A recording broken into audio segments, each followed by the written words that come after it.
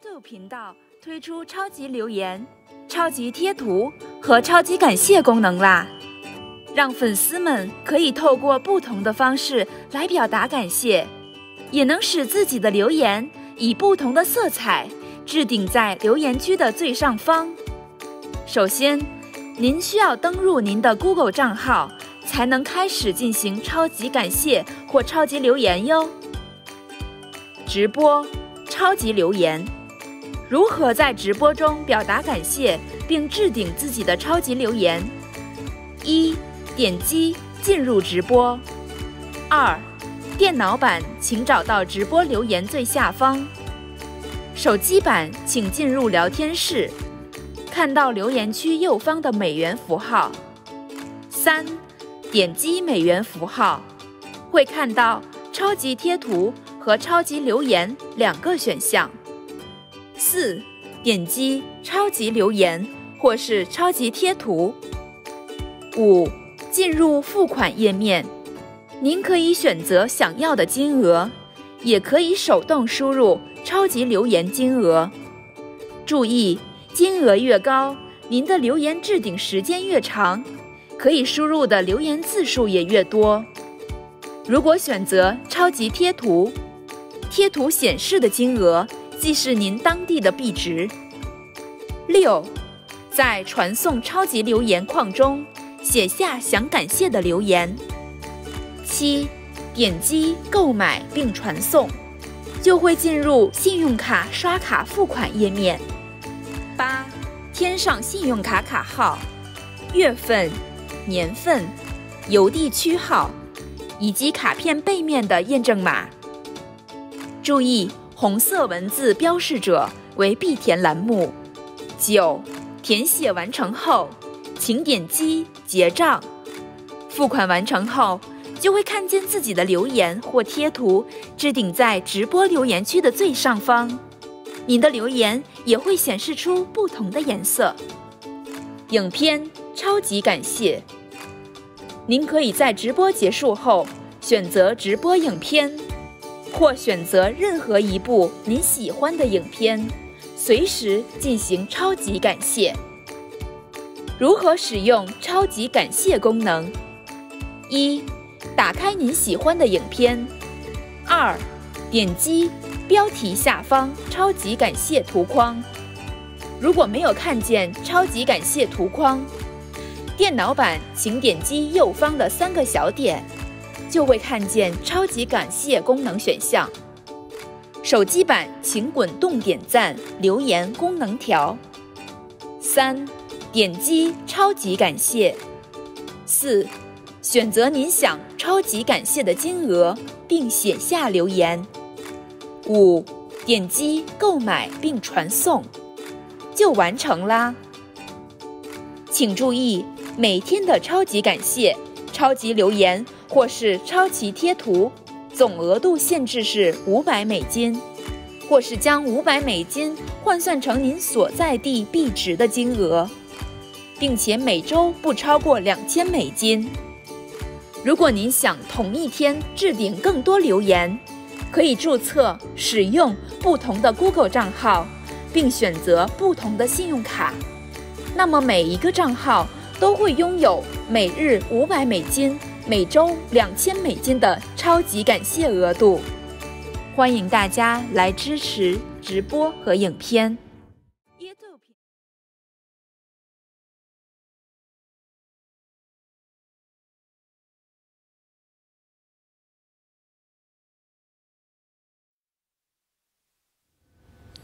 各位亲爱的网友朋友，大家好。师傅好。今天呢？应该是阴历二十四是吧？哎，我们亚洲的时间哈，这算是过小年是吧？对。哎。这个时候是过小年的时候呢，我们都已经开始张灯结彩，心情也进入了过年模式了。哦。嗯。我记得小时候哈，不管家里是穷是富哈，那个时候就是到处去赶集。啊，不一定买得了什么东西，但是有那个去赶集购物的那个特别快乐的那个心情哈。对。哎，你过年都买什么呀？觉得女孩不一样吧哈。哦，嗯。过小年就二十三糖瓜粘，我们首先都吃那个糖瓜，就想吃的。对，然后呢肯定要买新衣服，哎呦，嗯。这个啊盼着的，哦。买嗯买这些啊。啊、小的时候买那些头花啊、哦。发卡呀，哦，对，那现在也是可能要买一些首饰啊，哦。哎，红色的、吉庆的啊，这一些，对对嗯。对，小时候我记得就是，呃，男孩特别关注的是买鞭炮。哎呦，这个是。啊，买鞭炮。到后来的话，到城市就有烟花了哈，烟花，买烟花鞭炮，哎，是，呃，还有还买灯笼，家里和如果和父母亲一起的话，嗯。会买很多好吃的哈。对，好吃的，但是如果你绝对的，经济够富裕的话，嗯。什么买各种的菜呀、什么馓子啊、麻花啊，去年咱们还亲自在做哈。对，哎，还有家里吃肉的买的各种肉食哈。对还买了什么？各种菜，哎，对，嗯对。对，但现在还好哈，嗯这个货运的多，货运比较发达。嗯，那在北方也能吃到一些新鲜菜哈。嗯，对，在过去的话，在北方，冬天没什么新鲜菜，嗯。就是有几样东西放在地窖里头，就有白菜、土豆、地瓜，大白萝卜嗯，啊、红薯。萝卜、、洋葱，嗯。洋葱哈，嗯。洋葱我们没存过啊。嗯，对，大概就这几样。对，哎，它能够过冬的这个菜很少，就是嗯。哎，哎，那那偏南方的，那个哎，南方的话就应该有菜，是不是？哦，南方确实嗯。供应会很丰富一些，对。啊，就是包括水产的呀，还有哦。包括嗯蔬果呀，我觉得都比较新鲜，嗯，供应的比较丰富一些。嗯，对对，还要买水果，还真的啊。是，嗯，对，想的都很快乐哈。嗯，是，哎，这个尤其是越年龄越小哈，越开心，跟着父母、跟着大哥大姐一起哈，是是，手牵手的就去赶集了。嗯，哎，大家各种叫卖的声音，哎呀，那个热闹哈。是，对，其实真是很快乐哈。是，家里要准备贴窗花、贴对联，对，哎，换新的门神嗯。等等的，是是。嗯记得我们小时候真的只有在春节这一一天、嗯。啊，这这一段时间，嗯。真是全家团圆。那个时候，我记得我父母亲也是在外地，然后就是叔伯兄，就是叔叔伯伯、伯伯、舅舅啊他都在外地，啊只有在过年的时候才会聚集到外公嗯。外婆身边、对。或者爷爷奶奶身边。对，那个时候就光问候啊，就拜年都是，哎呦叽叽喳喳、叽叽喳喳的这一屋子，对对嗯，对。就真的是很热闹。但是过年最快乐的还是玩儿哈，嗯。还吃很多好东西哈。是，嗯，对。真是现在想想都很幸福哈。是很幸福，对，对，今天城市的场景就是不太一样，啊，现在通常组织的都很好哈。对，对，以这个商家呢，各种商家哈，各种商场，就以过各种节日为由头哈，为一个理由进行大肆的宣传哈，是，其实促进了大家来购物哈。对，啊，但是我觉得劳动了一年哈，给家人买些好吃的啊，买些新衣服，对，倒是挺必要的。是的，之后呢，再招待亲友，相互往来哈，嗯，嗯，是非常快乐的事情。对。对，过年的时候，就是大家的心情特别的幸福、快乐、嗯高兴、开心。那个时候嗯花钱都觉得没事儿，花买，嗯，就一定要在这个时候记着要孝顺爷爷奶奶、外公外婆，孝顺父母亲。对。嗯，那么还有呢，在过年的时候哈、还有一件事情呢，年轻人不太懂哈、通常呢，我们就讲究，到像华人来说，过春节哈、是真正的真正的过年。嗯阳历年就不太是真正的过年。嗯啊，那真过年的时候呢，就我妈就常说啊，就是好像这个天上的神灵就下到人间来，来观察大家的善恶行为哈，嗯行为举止啊，发心状态，嗯，他在给一些特别的人呢哈，哎，给一个心地善良的人呢来点彩啊，来赐给你好运，哦哎。点点彩，对，是是点到点到脑门上来个彩的彩色？就看那个人喜欢你哪个位置啊。啊。啊，它通常来说肯定点在头上啊。啊，通常点在头上呢，其实有的有福的人，比如说哈，他的这个头顶中央的位置，嗯。哎，带那么几根红头发，哦。这就是被神点过的彩。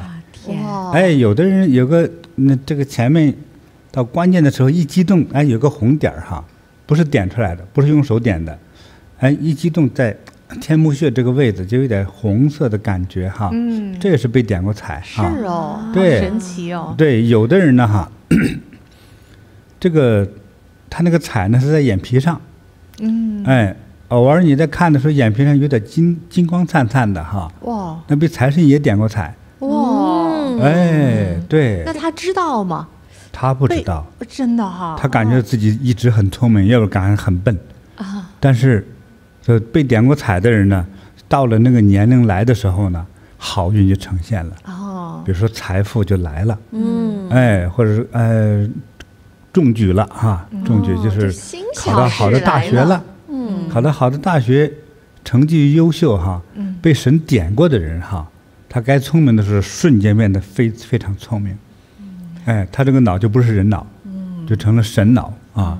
这想考试没问题，啊，一边玩耍一边睡觉，还一边考试没问题，都是第一名。哎呀，哎，那我们听了师傅这样的讲呢，就知道，那我们现在来得及临时抱佛脚啊，哎，赶紧做好事啊，对，啊，做好人说好话，嗯，持善心，嗯，希望能够被神啊、嗯。被佛、被这些哎天神呐、是。点个彩，心怀善念最重要哈。嗯。那今天我们讲的相关的啊、主题内容哈，嗯。哎，有一本神奇的书，是。那个图片上大家也看了，叫袈裟啊，就是就是大约你们谁知道？袈裟是嗯。介绍了师傅嗯从小哈、嗯是怎么样走向修行的道路，嗯以及整个的这个修行学习的过程啊，嗯发生的很多的事情，嗯还有师傅的这种啊、正德觉悟的过程，嗯以及呢觉悟之后啊、发下的愿望和如何去帮助众人，帮助了太多太多人，这一些事迹的一个简单的记录啦，应该对。讲，对对。所以对于新的网友来说，了解金菩提宗师这本书是一本非常好的入门书。嗯，嗯。但是这本书呢，就是呃到呃产生的过程到到一直能印制出来哈，嗯。呃我的感受我的直觉就是说。呃，其实大众除了阅读阅读嗯当一个故事来听一听，嗯，呃，但是可能会给给你带来一些具体的一些帮助。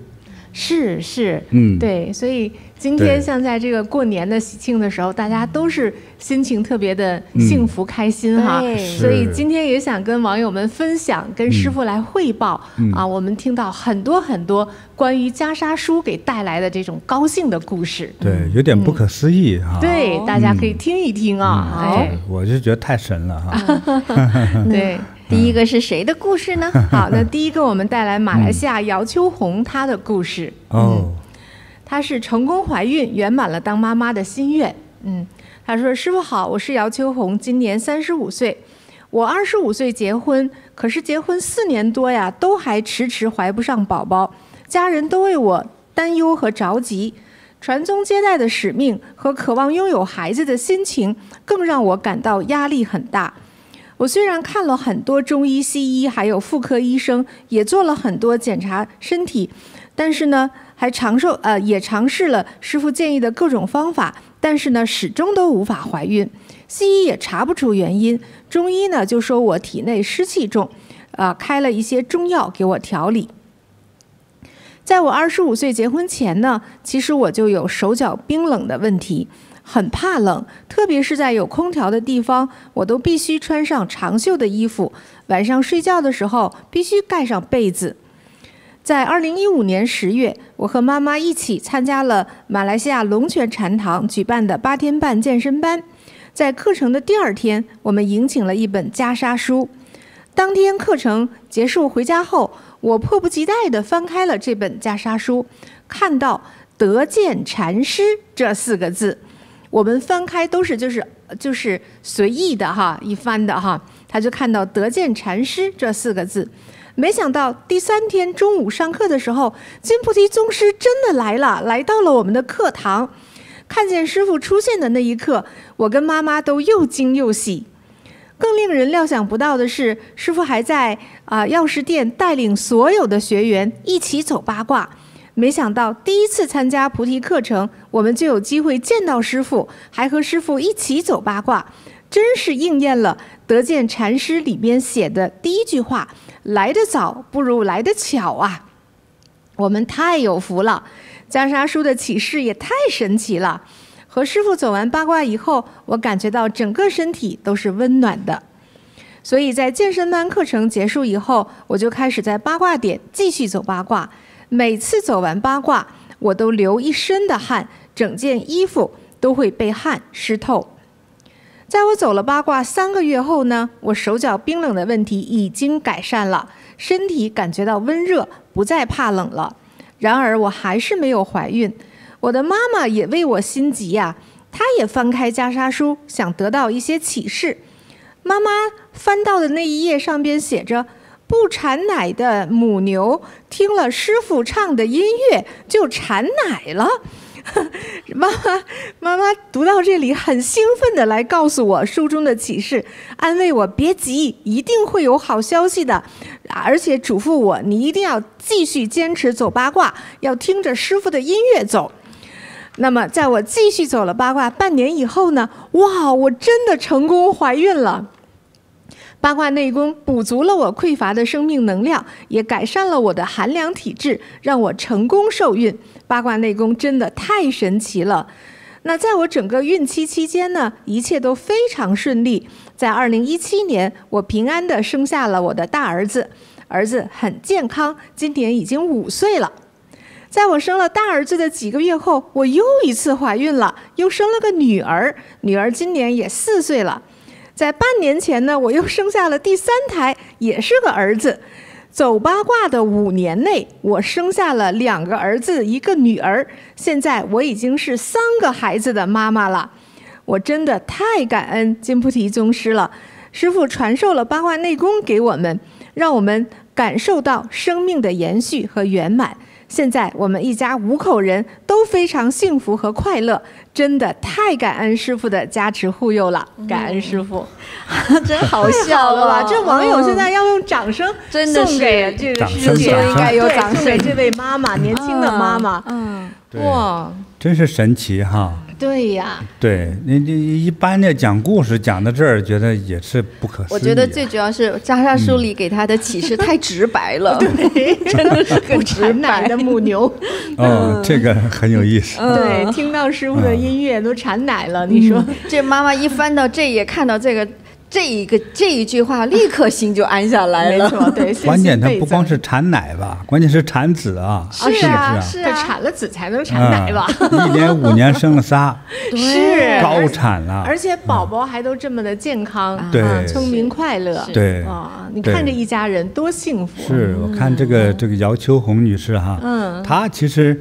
先天来说，他的能量不足啊，是的，对，他是这么个手脚冰冷，寒凉体质，对，非常不易怀孕，所以他结婚四年多都没怀孕，嗯。嗯，对。其实他这已经很善于利用袈裟书哈，已经这不是第一次了。第一次在这个之前，他还对上课的时候，他也翻看过袈裟书，一翻就翻到得见上师，得见禅师，然后的第一句写的“来得早不如来得巧”，你看他就刚一上课，然后就见到师傅了，哎。哎。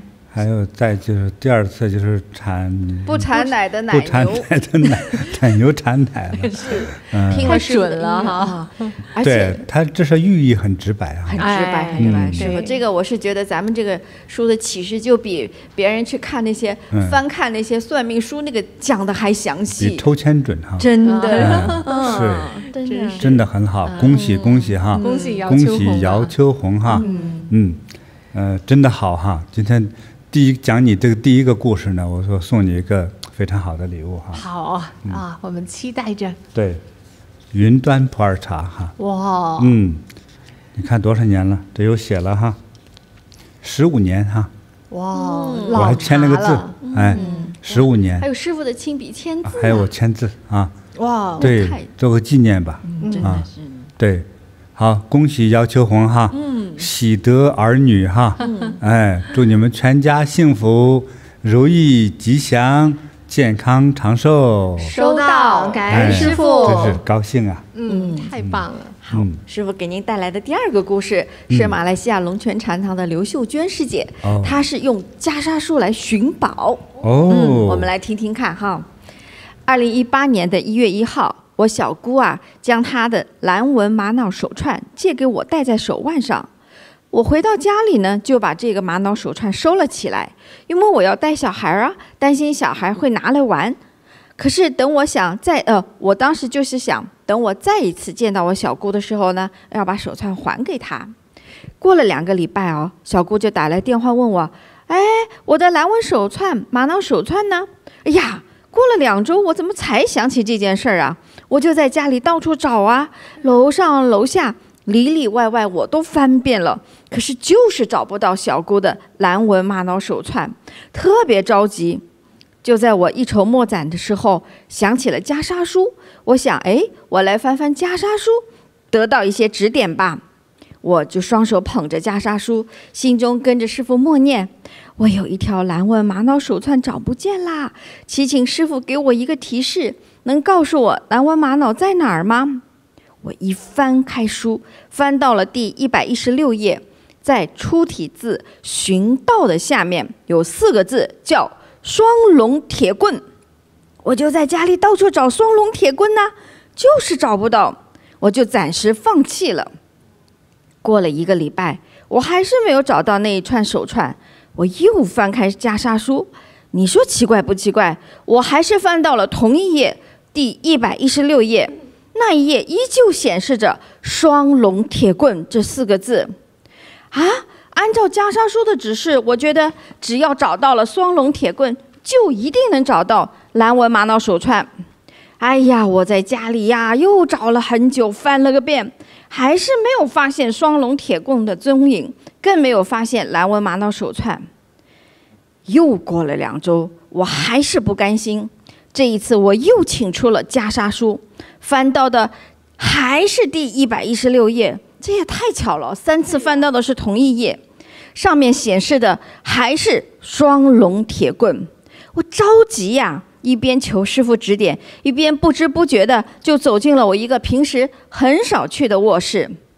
我就躺在床上，哎呀，一抬头一看，我惊呆了，我竟然在这个床头的墙上看到了挂在墙上的双龙铁棍，我的。蓝纹玛瑙手串啊，就挂在那个双龙铁棍的挂钩上面。我非常的激动，很想把发生在身上的这件事告诉大家。结果，当我再一次翻开袈裟书第一百一十六页的时候，哎，发现那四个字竟然奇迹般的消失了，连擦掉的痕迹都没有。我心想，这明明这里有四个字的呀，怎么平白无故的就消失了呢？这个袈裟书也太神奇了，竟然以这样的方式让我找回了蓝纹玛瑙手串，太不可思议了！我真心的感恩师傅。当我们遇到困难和障碍的时候，有袈裟书给予给予我们指引，让我们跨越障碍，走出困境。嗯，这本书神奇吧？神奇。嗯，这个它神奇的地方是，其实那个第一百一十六页。没有这四个字儿，其实没有，这个书中没有双龙铁棍，对，所以我们网友说，哎，怎么我看怎么没有呢？对，对，他是真的没有，可是他看了三次，三次不同时间都翻到了一百一十六页，嗯，都看到了双龙铁棍，对，但是他就以为这真的印上的，他以为是印上去的啊，最主要是我师姐看的时候。他是真的看到有这四个字儿，对对对，对，嗯，所以说这个袈裟书真是神奇哈，因为他忘了嘛，他就挂在那个双龙铁棍，把那个手串挂在那儿了，他忘了嘛。那双龙铁棍呢？咱看照片哈，嗯，它就是个双节棍，就练武的一个小小武器。对，嗯，对，双节棍。结果那个玛玛瑙这个手链呢，就是挂在身上的。对，结果这个书就一再提醒他：双龙铁棍，双龙铁棍，双龙铁棍。不行了，到第三回，我都不知道该怎么办了。那个袈裟书实在是没辙了，除了还是显示双龙铁棍之外，就干脆引导着他就去到那个房间吧。对，就他那他说他那个卧室不常去的，很少去的，往床上一躺，一抬头就在自己脑门上面，这铁棍就看见了哈，真的太神奇了。就是确实神奇，真的好玩哈。你说翻一本书三回翻到同一页。这就不是一个巧合了，这就是小概率事件了。世界上没有巧合，对，而且每一次都印出的，其实我们现在认证是不存在的，同样的四个字，反复提醒他，这是第二个不是巧合的事儿。对。对，而且提醒的这个信息是那么的相关啊，就是答案。啊，让我们自己乐吧，嗯。真的是。有的网友就会想哈，哎，是谁显示的呢？对呀，嗯，为什么显示啊？嗯，又没有印这个字，怎么会显示呢？嗯，是这个需要思考。嗯，因为谁解释，仅仅是出于解释的一个是一种解释。对，是我记得这个袈裟书啊，是我们每一次第一次上健身班的时候都会听到对袈裟书的介绍的。当时我也是第一期健身班，我就请了师傅的袈裟书。嗯。我一请回去啊，头一回我就特别喜欢看故事，因为袈裟书里都是师傅的故事，师傅从小的故事，嗯，还有师傅就是在求法，自己在就是修行的故事，证悟的故事。啊，就是很多很多故事，非常好看。我第一遍看的时候，真的就像看武侠小说一样，好神奇啊！里面真的是很神奇的很。别相信，别相信。嗯，对对对。后来就是有很多老师就给我们介绍说：“哎呀，这个袈裟书可别当故事书看了啊！然后你们还可以能够好好的用它。真的是碰到难题的时候，求师傅的时候就求袈裟书吧。”嗯嗯嗯，对。应该神奇的还在后头哈。嗯，是是。咱们给这位呃马来西亚龙泉禅堂的秀娟网友呢，是呃送一个丝巾哈，这个这个是梦幻家园哈，有丝巾，特别美，这是我画的画哈。是的。对，那再送他一颗八宝灵珠哈。哦。哎，对，能得到吉祥护佑，好事成双啊。好，谢谢。感恩师傅。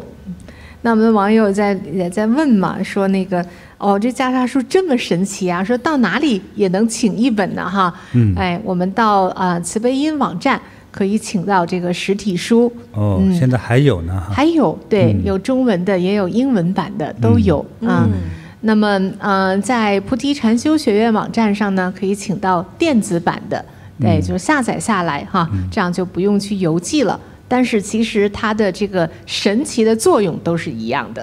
嗯，其实对我们来说最想听的就是大家通过来看这个翻袈裟书得到神佛的启示，这个故事太好听了，真的是。我还想听下一个呢。好，来，我又带来一个哈，也是马来西亚的槟城明月禅堂的连丽音，他给我们提供的，叫袈裟书赶走了噩梦和黑影子。哇，听一听啊。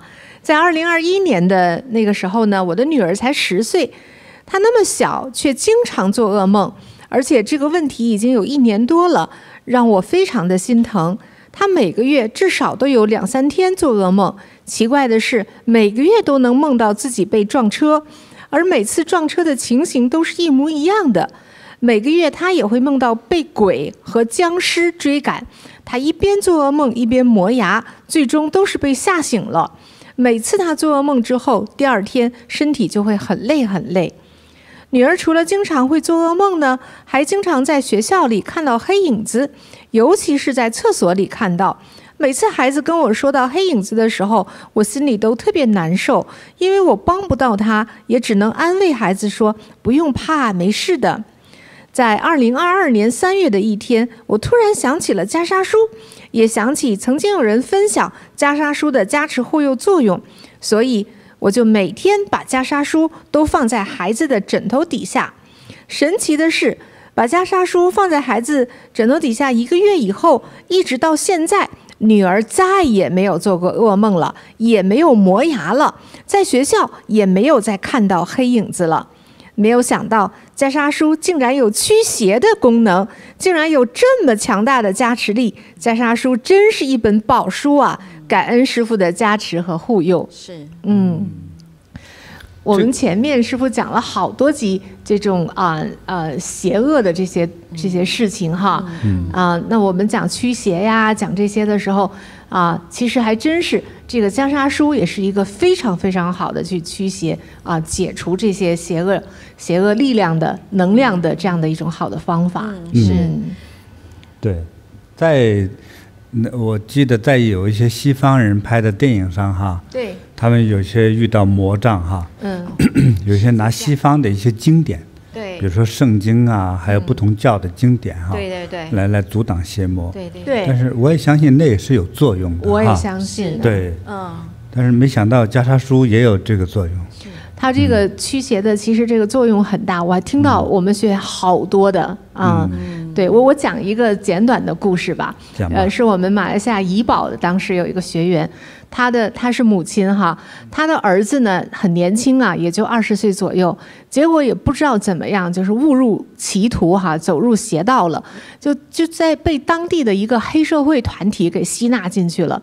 那个黑社会团体很邪很厉害的，就是就是邪啊，进去的嗯这些年轻人呢是没有人能够出来的，也被洗脑被控制了哈，然后去做那些为非作歹的事情。对，有的时候自己都性命不。保黑社会嘛？你想，那我们这个妈妈呢，多担心呐！那跟儿子讲道理是没办法讲的，儿子也听不进。嗯，后来是我们的一位菩提的师兄啊，跟他讲说：“你这件事情只能求师傅啊。那么呢，啊，你就在家好好练功，你还是要去跟那个黑社会老大要去谈，要把儿子给给要回来。对。”那你去谈的那个妈妈说：“我哪敢去呀？他都黑社会老大，我一个文弱的一个妇女。”那我们师兄说：“你带着师傅的袈裟书啊，这个师傅会护佑你的，你就自然有力量。”那这个妈妈也是走投无路，没办法，为了救自己的孩子，就去了，真是就到了那个找了那个黑社会老大，他就手里就捧着袈裟书，他也据理力争啊，也去跟人家讲啊，这样子。就是让他自己都不能够相信的是，哎，一番话谈完之后，那个老黑社会老大就行吧，行吧，把你儿子领走吧。哇，他都没有相信，这哇是真的吗？就把孩子领到家，这么顺利啊？对，领回家之后，他再跟孩子讲道理，孩子就听得进了，然后就改邪归正。哇，你说这个妈妈多心安，有他呢啊！哇，我觉得这个这个驱邪，这个哎呀，太厉害了啊！对，有点意思哈。嗯嗯，我想先送给这个马来西亚槟城明月禅堂这位连丽英女士哈。嗯，哎，送她一个小礼物哈。好。嗯，啊，故事好听。嗯，为她高兴啊。哎。牛角天珠啊，这么好，也是辟邪的。对，希望能辟邪，能保佑她如意平安、吉祥自在啊。嗯，收到，谢谢你的故事哈，真是好玩哈。感恩师傅，太好了。嗯，好，师傅，接下来呢是芙蓉禅堂呃吴玉芝师姐带来的，说袈裟书能够帮儿子轻松入眠。哦。二零一六，芙蓉禅堂是马来西亚，马来西亚的芙蓉禅堂。哦，好。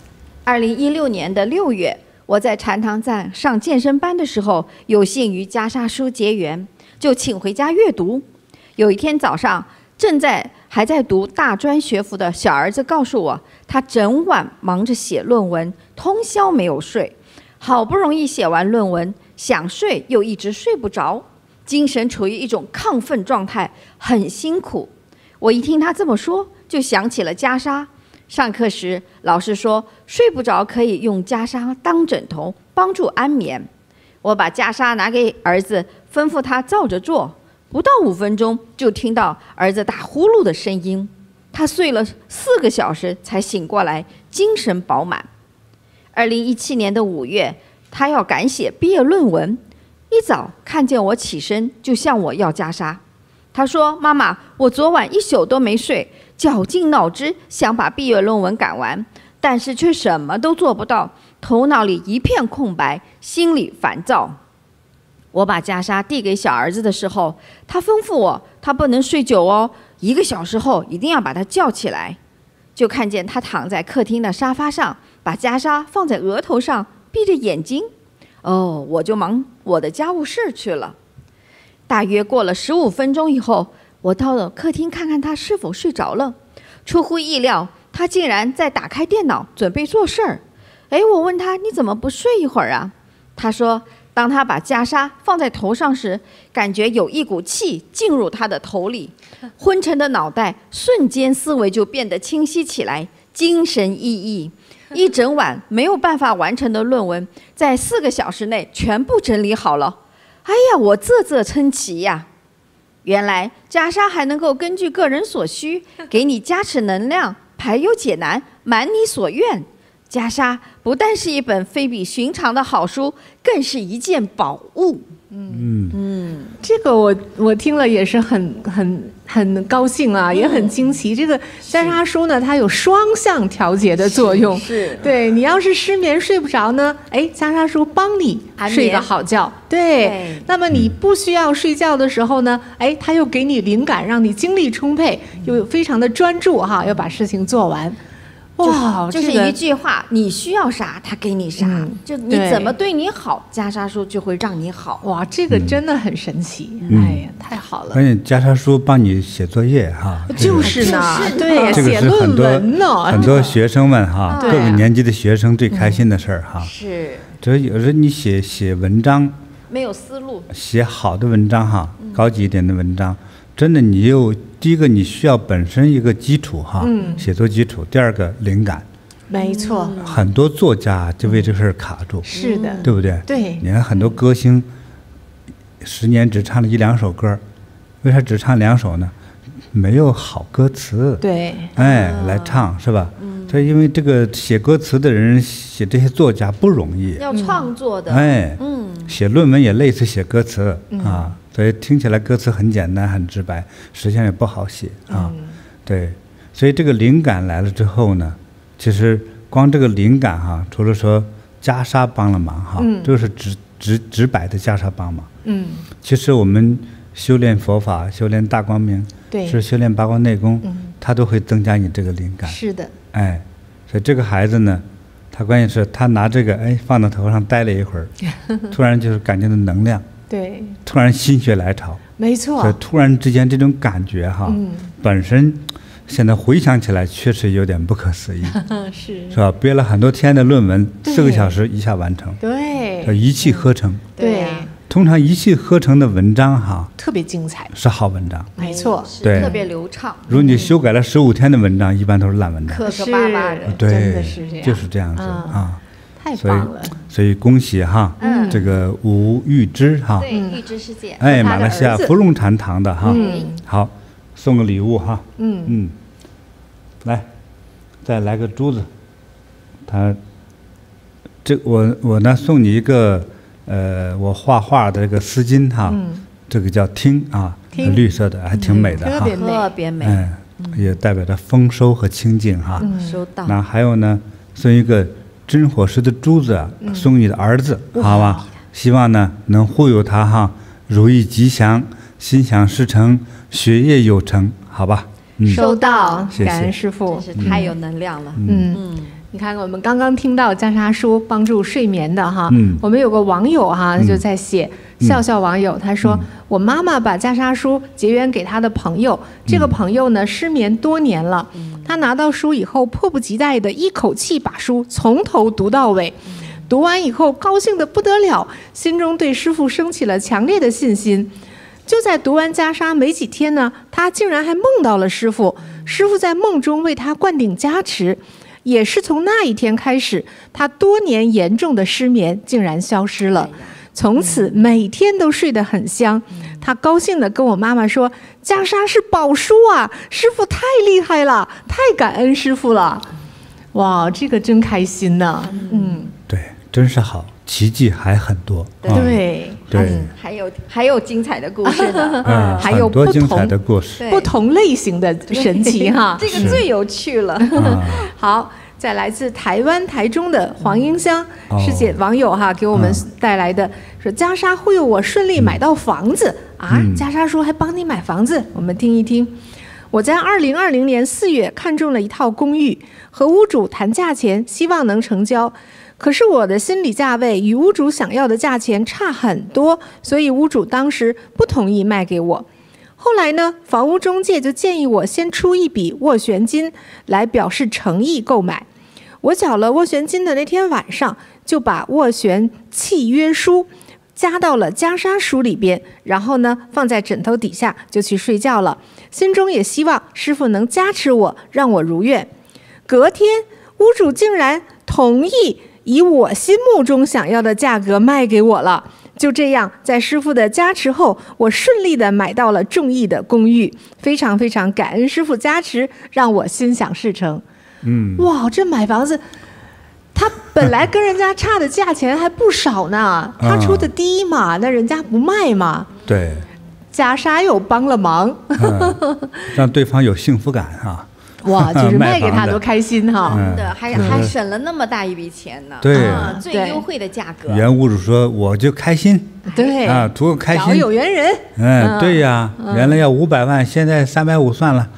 这这真是，真是，是老天真的赐给他一个大好人呢。哎呦，这可能就是点彩点的吧？这个，这这有可能啊，真是啊，哈。他关键他把那个斡旋契约书哈，其实就是买房合同。对，买房那个叫协商合同。对，合约。嗯，offer 我们各国买房都有这个东西。嗯，签字为证哈。是。哎。他呢，结果把这个这个这个合同呢，就夹到了袈裟书里头。他希望得到护佑。对。结果真如他所愿。还那么快，第二天就心想事成。确切说，还是以比较便宜的价位买到哈，真的好哈。真的好。哎，你说一个一个城市里的那个新房旧房往外卖的无数，对不对？嗯。但是你能看得上有符合你的感觉、有符合你的价位的不多。对呀，有的人买了十来年没买到，是，嗯，你看他呢，我相信他也等了很久了，是，对，哎，真是心想事成，为他不神奇，对，真是。开心的，嗯。嗯，那师傅也送给他一个小礼物吧，好，嗯。嗯，来，送他，你看，我们都用真的宝石穿的这个项链哈，好美，特别的美啊。正好是在春节，哎呀，新年春节来了哈，这戴上它多吉祥啊！对啊，吉祥快乐哈，喜气洋洋。对，好，恭喜黄迎香哈，啊，祝你这个买房之后呢，健康快乐，如意吉祥啊，家宅平安。收到，感恩师傅。嗯嗯。这有买房的了，是不是还有其他方面的还有还有哈，这个接下来这个故事我先不告诉大家，这是袈裟书起到了啥作用？嗯，大家听我慢慢道来。好，嗯，好，是来自于马来西亚芙蓉禅堂的陈娟师姐带来的。嗯，二零一九年的一个下午，我跟先生出去了一趟，回家后就看到一大群蜜蜂在我院子的鞋柜里，我吓坏了。我想了很多办法要把蜜蜂赶走。可是啊，我们家隔壁是幼儿园，我担心对孩子就会有危险。谁知道这些蜜蜂怎么赶都赶不走，只要赶它们，它们就会到处乱飞。我当时很紧张，直接给消防员打电话，请他们来帮忙。刚挂下电话，我突然就想起了袈裟书，便拿着袈裟书与金菩提宗师沟通，祈请宗师在不伤害的情况下。把蜜蜂都赶走吧。祈请了不到十分钟，当我再一次到院子里，哎，发现所有的蜜蜂全都飞走了。所以我又打电话给消防队，告诉他们不需要来了，因为蜜蜂全部都飞跑了。通过这件事，让我觉得袈裟书有着不可思议的力量。我无论走到哪里，都会带着一本袈裟书，它会给我一种安全感。嗯，这个也想不到啊！这袈裟书还能赶蜜蜂啊，真的，而且是不伤害蜜蜂的情况下，就好像袈裟书给了那个蜜蜂群一个指令，嗯，飞走吧。飞走吧，大家飞走吧。那个蜜蜂接到信号，歘就飞了。对，否则消防队来了哈。消防队来了，蜜蜂。消防队来都是很残忍的，蜜蜂小命一喷就全熏死了。对对，全部小命不保。对，嗯，他就接到了这个讯息，赶快走吧。哇，这多平安，多好呀！对，我们为蜜蜂也高兴，为这个师姐高兴。对，但还是提醒大家哈，就是我们尽量在生活中啊哈，嗯，呃，遇到各种各样的事呢，尽量少伤害。对，啊，这点是最重要的哈。是，嗯，好，你说神奇不神奇？袈裟说还给蜜蜂发指令了。哎，就是。好玩。所以说，我们这个世界上的一些其他动物啊、昆虫哈，这有很多我们不太容易理解的那个那种现象。灵性。哎。嗯。嗯。所以我们在越研究这个世界，其实就越神奇。真的。对。嗯。我们当真正的达到一个境界去看事物的时候，你比方说土吧，你的感觉还是原来的土，但是你对它的认识就完全不像小时候认的土或者沙子那种感觉了。嗯，它变得更神圣了，就会，对，何况是蜜蜂呢，哈，嗯，好，就提醒这么多哈，好，那这个我送给这位陈娟哈，嗯，这个马来西亚芙蓉禅堂的陈娟，一个新年礼物哈，好啊，嗯，来大红宝瓶哈，天哪，这么这么这么大红宝瓶啊，师傅。太棒了！这个就是我屋里放的那一个。是呀，就就是在师傅的这个秘法堂里。对，嗯，珍藏的。这个这个我买来十来年了。哇！对，放着我就送给他哈。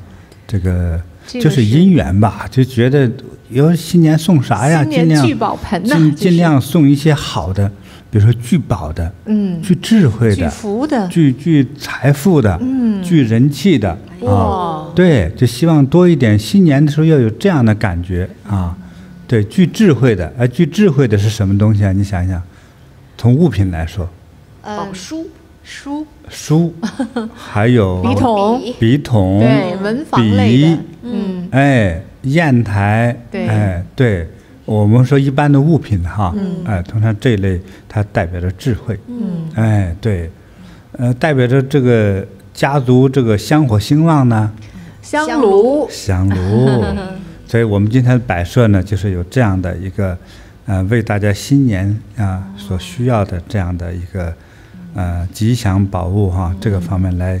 来提醒大家哈，哎，太感恩师傅了。师姐就是分享了她的这样一个小故事，师傅赐给她这么大的福报，真的是太有缘了。我还有更大的大红瓶呢，抱不动啊！这 下一个有缘人我就送给你哈。好好，哎，再大的大家也欢喜啊。其实我特别喜欢给大家送礼物 啊，真的是。哎，那你说是为什么？也有人说哇，你在是不是想拉网友喜欢你？哎呀，我这么老，你喜欢我干嘛？就是我喜欢给大家分享。其实师傅是把一个对吉祥哎送给大家。对，这是心里话哈。真的是对。嗯，对对对。所以像我们下一期直播哈，嗯，我会送我前几天照那个普洱茶哈，哦，那个老普洱茶，对，十几年的哈，嗯，那我喝了喝，这两天咱们都在喝哈，嗯，很好。那个那个它真的非常的，不是一般的养生哈，真正是宝哈，这个级的啊，就是。对你的真是有帮助，哎，那到到下一次直播的下一次还是再下一次吧？嗯，反正春节期间哎，春节期间的直播哈，嗯，我会送三饼，但是这个三饼不送给一个人哈，嗯，哎，我呢会把它打散一下，打散之后呢，分头多送给几个人。好呀，那更多人能够得到师傅的茶叶。有这个机会泡那一壶茶喝了，我觉得就可能。能够健康，像神香一样哈，哎，延寿哈，健康延寿，对，就是这样的一种感觉哈。太感恩师傅了，嗯，那我们春节的时候一定来听师傅的直播，对，非常应该。啊，来获得师傅赐的宝贝，是是，嗯。嗯，太好了。对，所以袈裟说很神圣哈，你看他什么事都管，对，怎么干这么多事儿哈？哎。但看还有没有啊？有，还有。下面带过来的就是，呃，是跟身体健康相关的。其实这个我们网友留言特别多。你看，就是说母亲真呃肚子疼的时候，就把袈裟书放在肚子上。神奇的是，过一会儿就不痛了啊！这种很多的哈。那我们这一位呃新加坡的刘玉娇网友呢，他分享的是摆脱了十七年的鼻子堵塞。我们来听一听。师傅好，我是来自新加坡的刘玉娇，今年六十岁。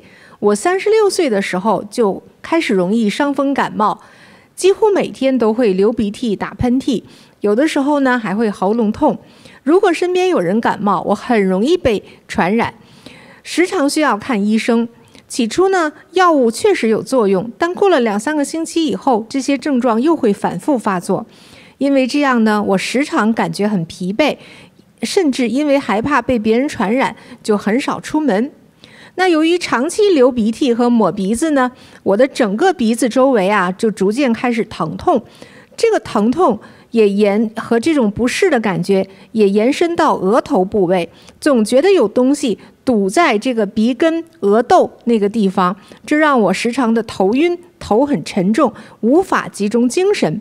很多时候，我和朋友说话，突然就忘记前面说的话，就好像断了线似的，真的好无奈。二零一三年，我通过菩提呃杂志认识了菩提禅修。有一天。我在禅堂修炼大光明修持法，不知道为什么我突然眼前一片漆黑，头晕又来了。我很担心，就走到了大殿后方去休息。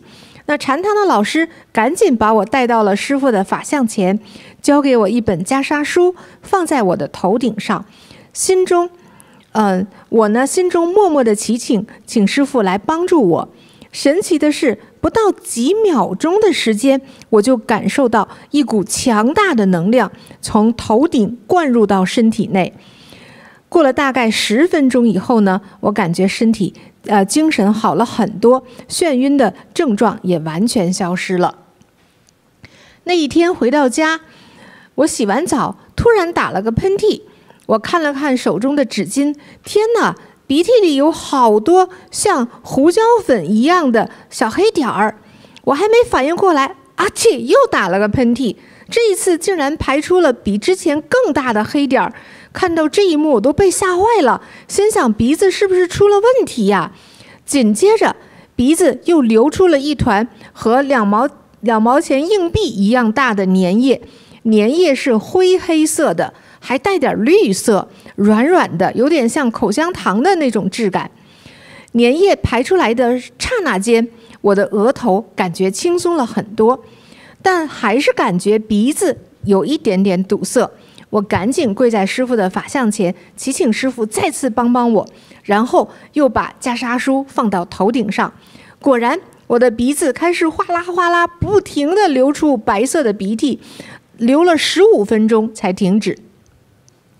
这一瞬间，我终于感觉到真正的通畅，我的鼻根到额头整个都被打通了，额头无比的轻松自在，这种感觉真是太舒服了，我真是非常开心，非常感恩尊贵的师傅和袈裟的慈悲加持，让隐藏在鼻子、额窦里面十七年的这种阻塞完全消除掉，感恩师傅。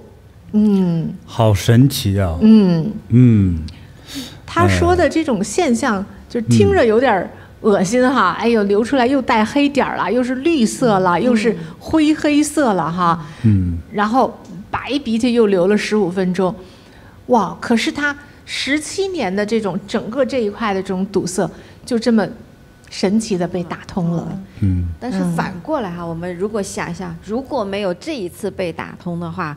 这一块东西一这个黑黑色的这个黏糊糊的，一直堵在他的鼻腔里，时间再往下发展的话，会发展成什么样呢？呃，以我所有的经验哈，在三十多年前呢，就是呃，我们当时在中国的北戴河，当时我们有个禅修基地哈，哎，那我们开一个特别的班哈，呃，可能也是与念佛有关吧。念了很多天，到结尾的时候，当时这个事情就发生在我的眼前。哎，大家都在地上做个垫子，就是大冬天，就在那苦念，哎，也不觉冷了就，哎，就有一个女同修呢，你这样，她要打喷嚏的样子哈，啊，一看见我在跟前，又吓一跳，哎，但是还忍不住咔哧一吃，她用手啊，她这有东西喷出来哈，嗯，我这真是。正在她前方不远处，她用两个手捂着捧着啊，出来哈，其实就有点像鸡蛋似的，但是里头是绿蓝色的。我只能说这个东西就可能它的病灶，就是你看看得见的与癌相关的东西，嗯，就这样从他的鼻腔里头喷出来了，完全喷出来了，那他就好大一团。啊，黏糊糊的，那他就消除了这个病嘛？对对。从那之后，他多活了二十年。哦，嗯。所以这个咱们刚才新加坡这个网友多幸运呢哈，他也是把这个病灶给排出来了。对，其实经过这个这种特有的加持哈，就是其实我们获得这个神佛加持哈，有时候说哎，你比如说念了几天佛，有时候呢跟我们修法哈，修了几天。有时候就得到一个特殊加持，就是瞬间，可能你那个现象就被被改变，嗯。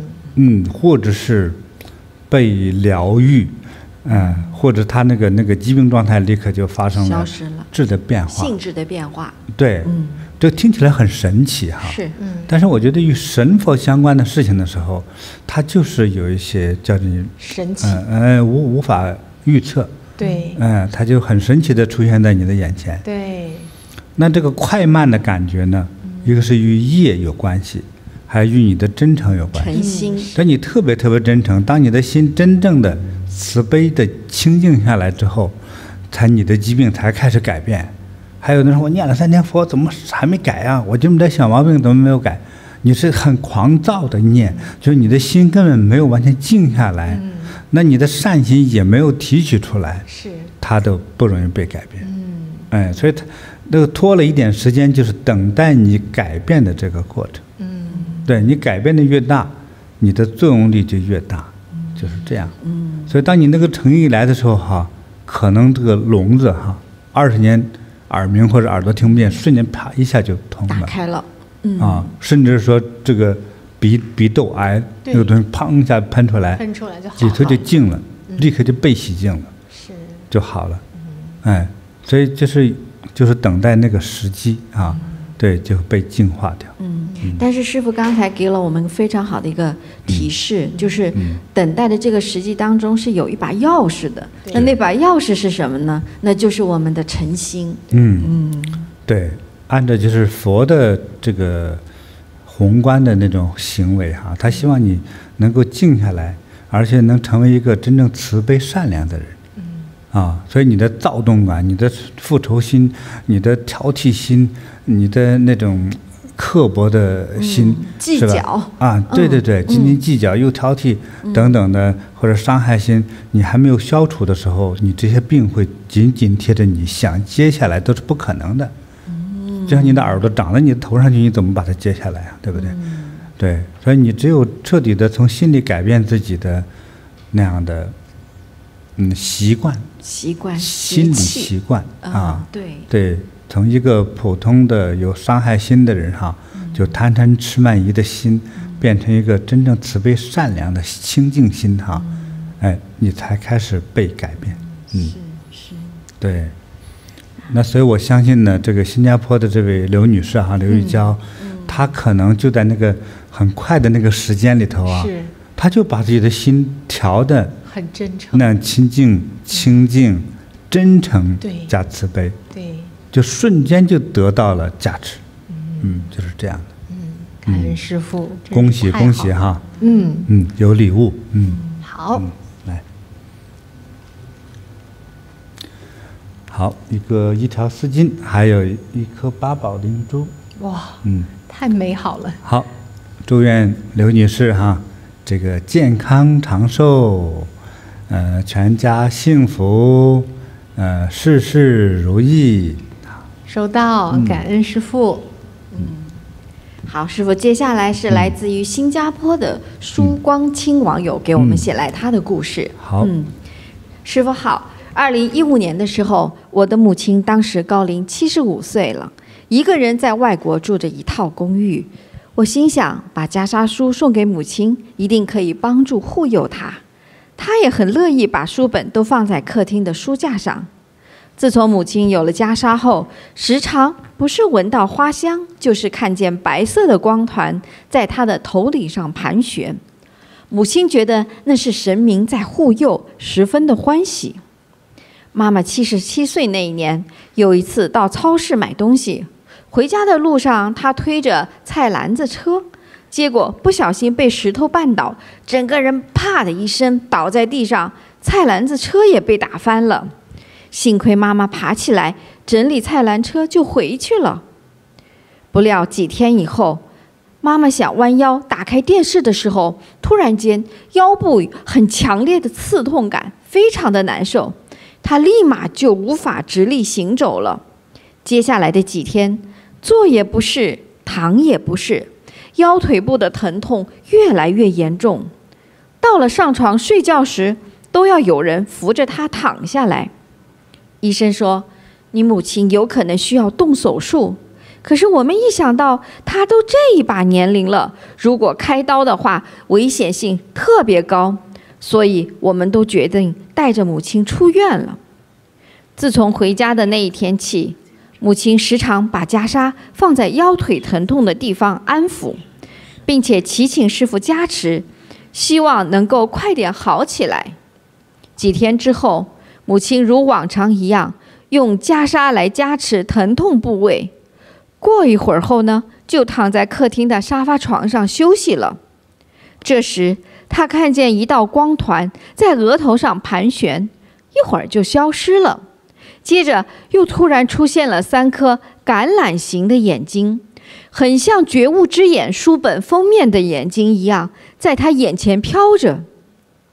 他们从门口飞到窗户出去，妈妈被这一幕惊呆了。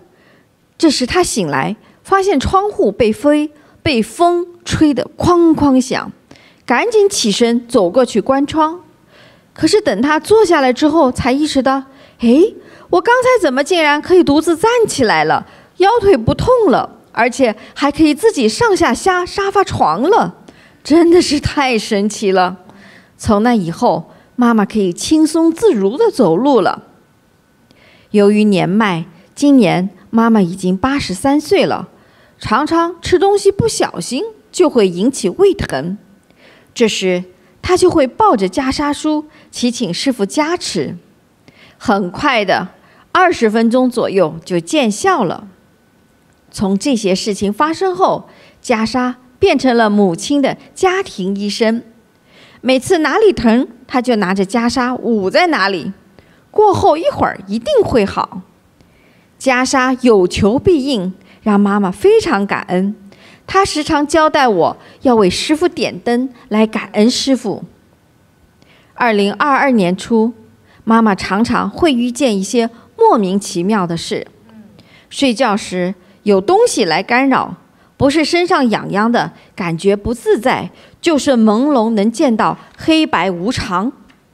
有一次，妈妈梦见黑白无常就站在她的床边不走，她朦胧中有点害怕。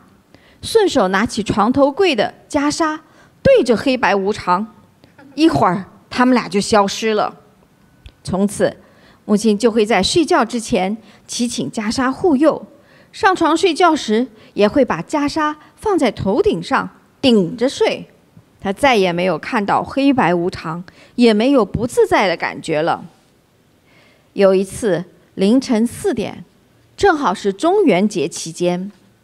母亲梦见我的外婆站在床头柜边，柜边告诉她说：“我要回去。”感觉好像外婆想把妈妈也一块带回去，可是妈妈却坚决不跟着走。惊醒之后，她回想起刚才的梦，还有些害怕。我赶紧为她在菩提禅修学院塑佛金身。不久后，妈妈又做了一个梦。他梦到自己来到一个公园，公园的门口处有很多人在排队，母亲也跟着排队。到了他的时候，门口的人却说：“你的证件不齐全，不合格，所以不能进去，你回去吧。”他顿时从梦中惊醒后，就给我打电话。我告诉他：“师傅已经帮您化解了，幸亏你没走进公园门口啊。”妈妈非常欢喜。非常感恩师傅，又交代我一定要为师傅点上四十九天的吉祥灯，要连续三次。现在妈妈每天早上都会念佛，感恩师傅与佛菩萨的加持护佑。弟子和妈妈再一次感恩尊贵的师傅，感恩袈裟叔，使他使我的妈妈可以健康生活，一切都平安吉祥。你看，这个听了好感慨呀！是，这个老母亲呢，哈。健康消灾延寿啊！对，这本袈裟书真是忽悠他，这是一轮接一轮呐，对，一道接一道，对，好像是他的生活宝典。啊，没错，也像他的护身符，所以他说是家庭医生嘛，家庭医生加上护身符，对，什么事都管了，嗯，什么事都管了，对，摔倒了没问题。啊，肚子痛好就放在肚子那儿，对，嗯。啊，晚上睡不着觉。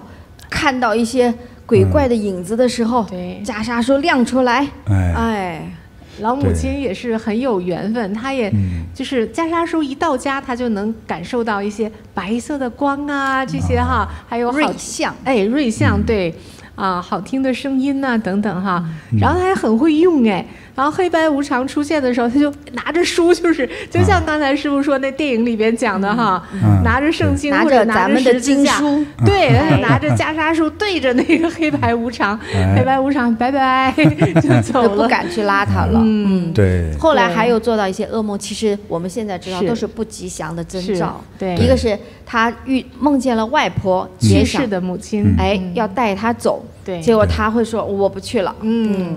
对，然后第二次呢，又做梦了，哎，梦到一群人都是过世的人，要排着队进公园，都排门口，对，都排到他嘞。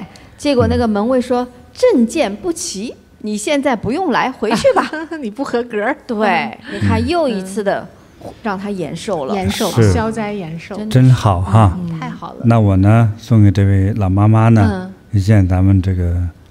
嗯，你看写的字儿的哈，对，菩提禅修，这个红色的 T 恤衫哈，这个你想穿什么时候都可以穿哈，能给你带来如意吉祥的护佑哈。那我送给咱们写文章的他的孩子哈，他的女儿吧哈，嗯，送他一个丝巾啊，哇，好美，梦幻家园哈，嗯，过年了，对，这个丝巾其实是挺美的，非常美，对。就看你用哪一头哈，嗯。另外一头哎有点淡的与黄色相关，另外一头是蓝色的也很美啊。对，这是一幅画啊。对，大家觉得如果印成丝巾挺美的，嗯，呃，印出来是挺美的啊。是，嗯，好，恭喜我们这位新加坡的网友哈，对，苏光清哈，对，老母亲受护佑，嗯，真是很有意思。其实很多老人家都挺孤单的哈。对。对他需要有各种各样的陪伴，需要护佑，需要有精神的寄托。没错的，对。对，所以本身也非常需要哈。是，嗯，好，我们也祝福这位老妈妈哈，能够长命百岁，收到，这个清净自在，收到，天天快乐，收到，嗯，得到佛菩萨护佑哈。嗯，感恩师傅，嗯。嗯。师傅，嗯，听了这些神奇的故事哈，其实我们网友也有很多的分享，啊，我们也想跟师傅再分享一下。好呀，好呀。你看这位秀秀网友，他说，嗯，他的一个朋友啊，早上呢，早上起来的时候，结果先生啊，就是呼吸困难，啊，这个他先生就是大力敲打自己的胸部。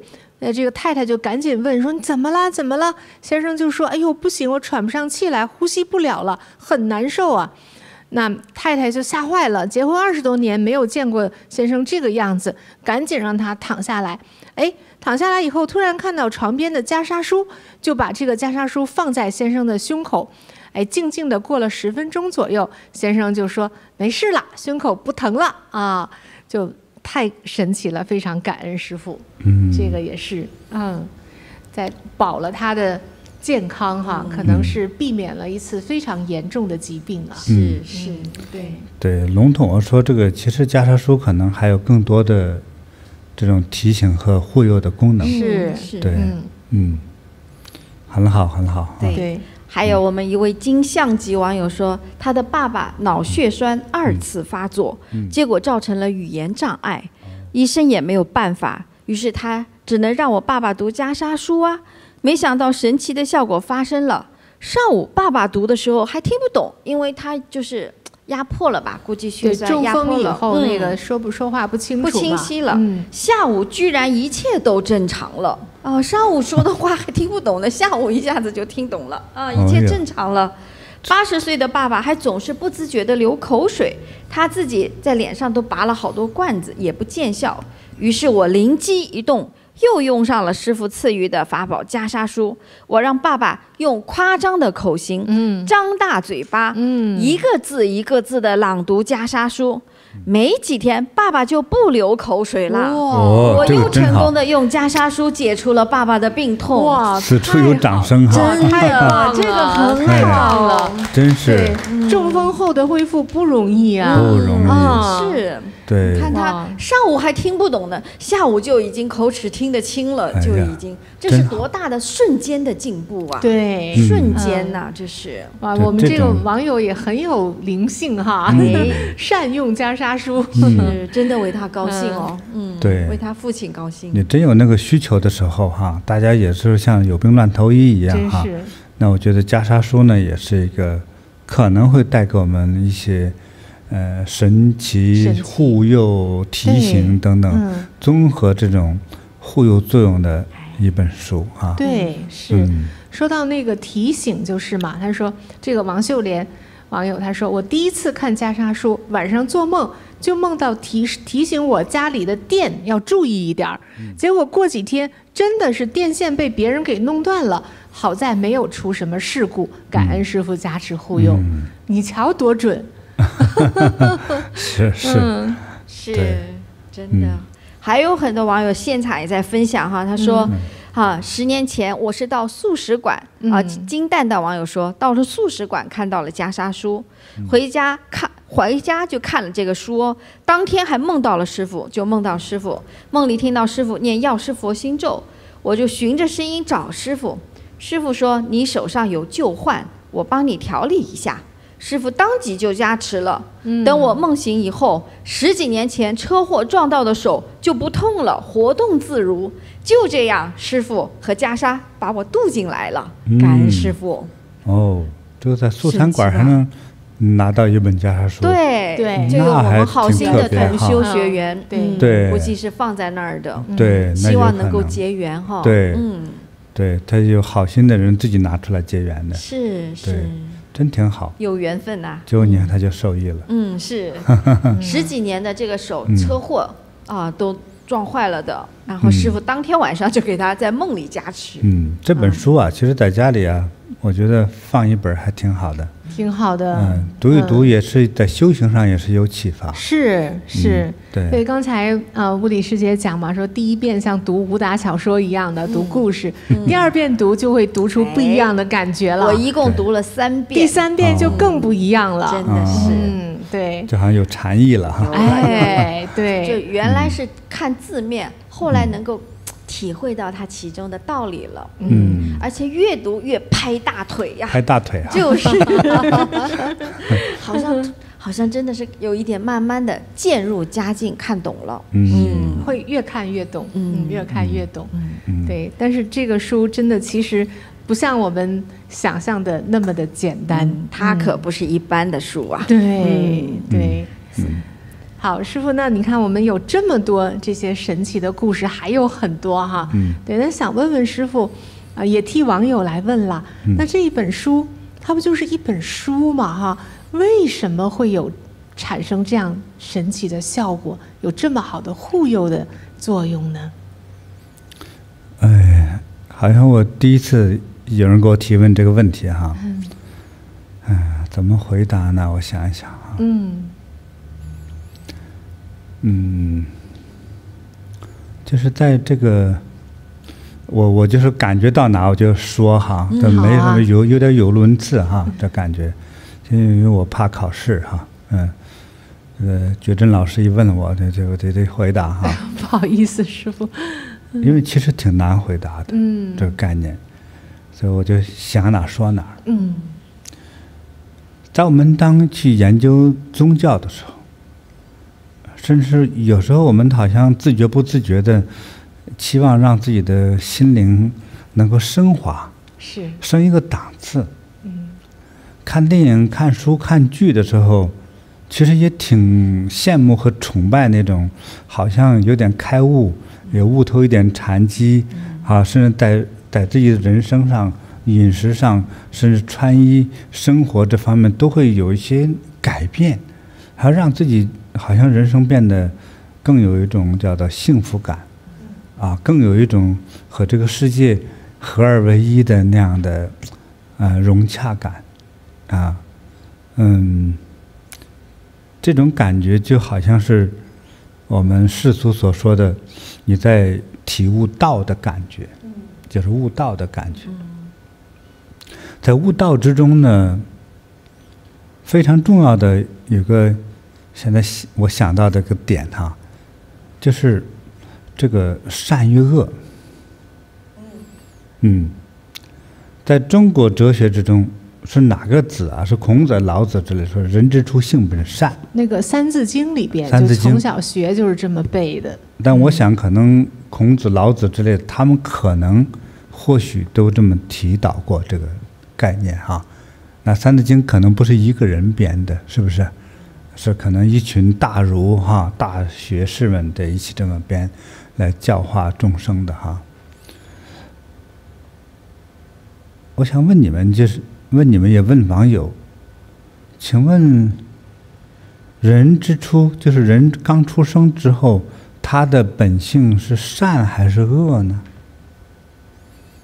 我也等待网友回答，就是你们也随便说，这个没有对错，好吧？啊。就一两句是师傅，我觉得，因为我们好像一直就是受这种教育的，就是连都不识字，只会说话的时候，就是背这个《三字经》，就是这么背被传授的。对，就人之初性本善，人之初性不善。但是其实，在呃，在不同的这个流派中，包括西方哈，他也去探讨这个问题。就是有的有的这个呃学术派别呢，或者是思想的这种派别呢，就是说呃人之初性本善，有的就是说人之初性本恶。嗯，嗯，因为他恶嘛，所以就得管着。啊，对。对。那么，当社会的这些大儒、这些大哲学家哈，在研究这个。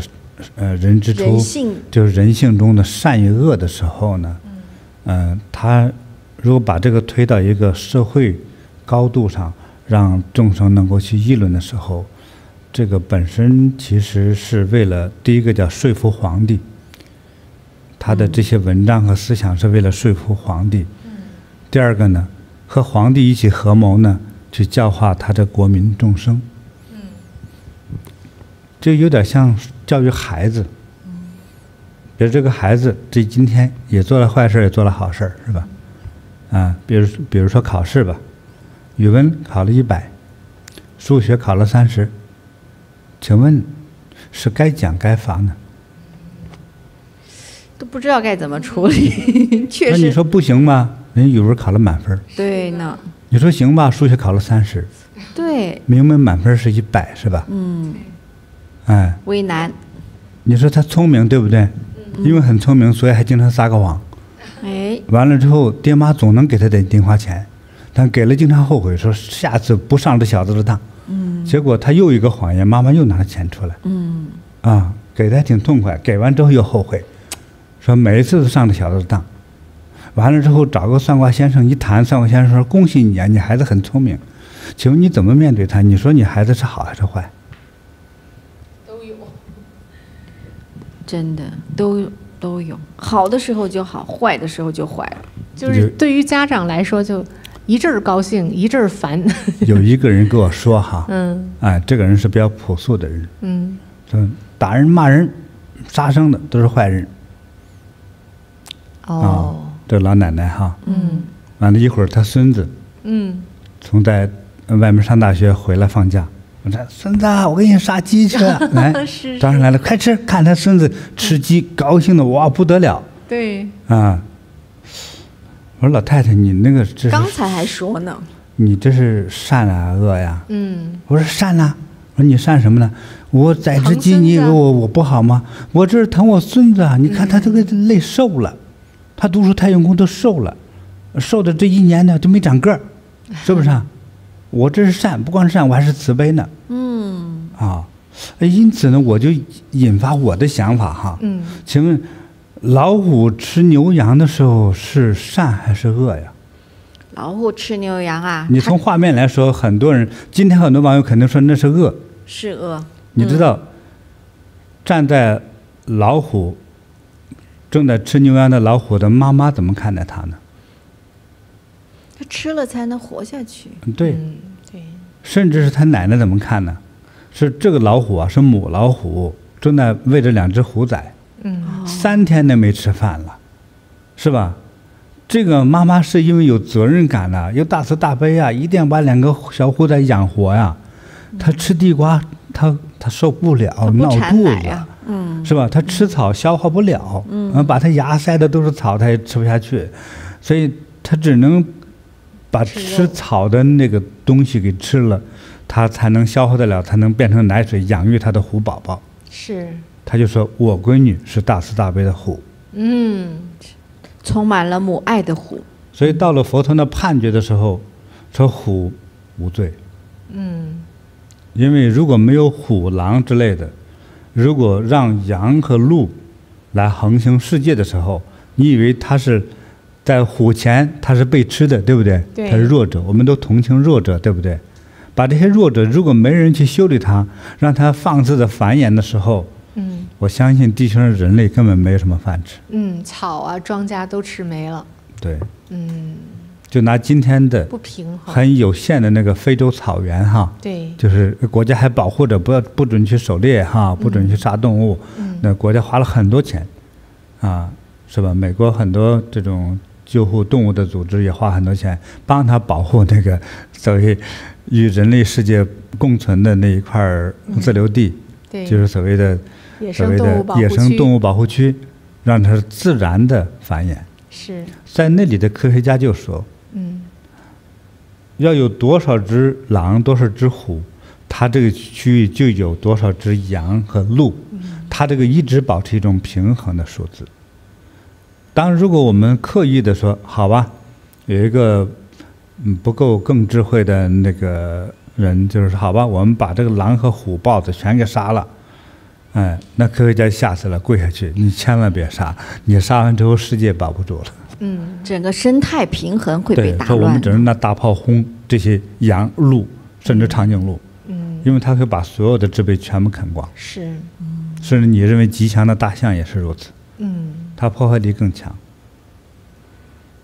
请问什么是善和恶呀？就是没有一个统一绝对的定义，是人自己的定义，嗯，或者人在于社会的所谓大家所认同的一种感觉而定义，嗯，或者人站在人的角度定义，对不对？对，这是叫人当中也分他的智慧分三六九等，对不对？嗯，哎，更高智商的人，他可能正在研究和我说的这个这个概念哈，对，他到底什么是？好好坏善恶慈悲与邪恶是吧？嗯。那但是一般人说，骂人的打人的就是坏人。你偷了我的东西，把我们家钱都全部偷走了。我们存了三十年的钱，想买个房都买不起，我们肉都不敢吃，我们的鞋鞋子衣服都是旧的。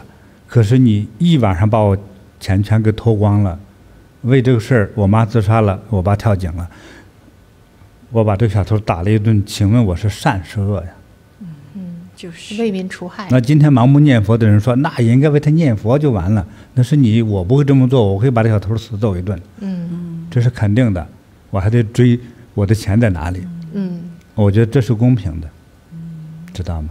嗯，善恶是由你自己的心决定了善恶，或者你的爸妈告诉你这叫善恶。等你上了中学到二十岁左右的时候，你就去否定你爸妈，那不是善恶。但自己又又得学习学习学，到三十五岁的时候，哦，善恶有可能，也许认识上又升了一级，建立了一套。善恶是心中的一种决定而已。所以等到了一个，我们这个话听明白了哈。嗯嗯。那我们讲这干嘛呢？对呀，他人心之中。本来就无善无恶，但是因为生存，因为我们大脑意识中为了让自己生存，要得到我自己想得到的，先是得到叫做，其实第一个就是吃饭的生存权利，第二个为什么为情哎打打杀杀也比较多呢？嗯，也比较费脑筋呢，这是配偶权，嗯，你能延续后代对吧？就为这两件事情，这一生啊，就足够你去消耗和折磨的了，去痛苦的了。真的，是你基因之中的一种追求。那有的人说，我就不想结婚，哎，但是整个荷尔蒙和整个他的大脑遗传基因之中，到那个点上，看个人就得结了个婚，还没恋爱就结了婚了，是吧？这就是，好像人是被一个系统给控制了一样。也有人说，是外星人造的地球人，所以我们都活在一个。必然的一个年龄时空之中，你到那个阶段最多活一百二十岁，真的就是没病也得死，对吧？嗯，就仿佛咱们这些人生经历，就仿佛被写过程序了似的。嗯，当你什么年龄段是会发生什么样的情况，什么年龄段要去做什么样的事儿。没错，就像你的手机上有多少程序就固定了。嗯，还有人的就是各种贪婪、贪嗔痴慢疑哈，哎，这个东西在每个人的 DNA 之中。全部是被注定的，贪嗔痴慢疑也不是坏，但是用重了就是伤害，伤害多了就形成了业。恶，嗯嗯，这个业。重了，你的病多又倒霉等等事儿就来了。这是人哈，嗯，我把人研究完了，嗯，研究完之后，可是有一类人啊，像我，像你，像你们，还有今天我们很多的网友朋友。很多他开始追求叫绝对的善，世界上没有绝对的善，嗯，但是我就企图，我就要追追求究竟这种绝对的善。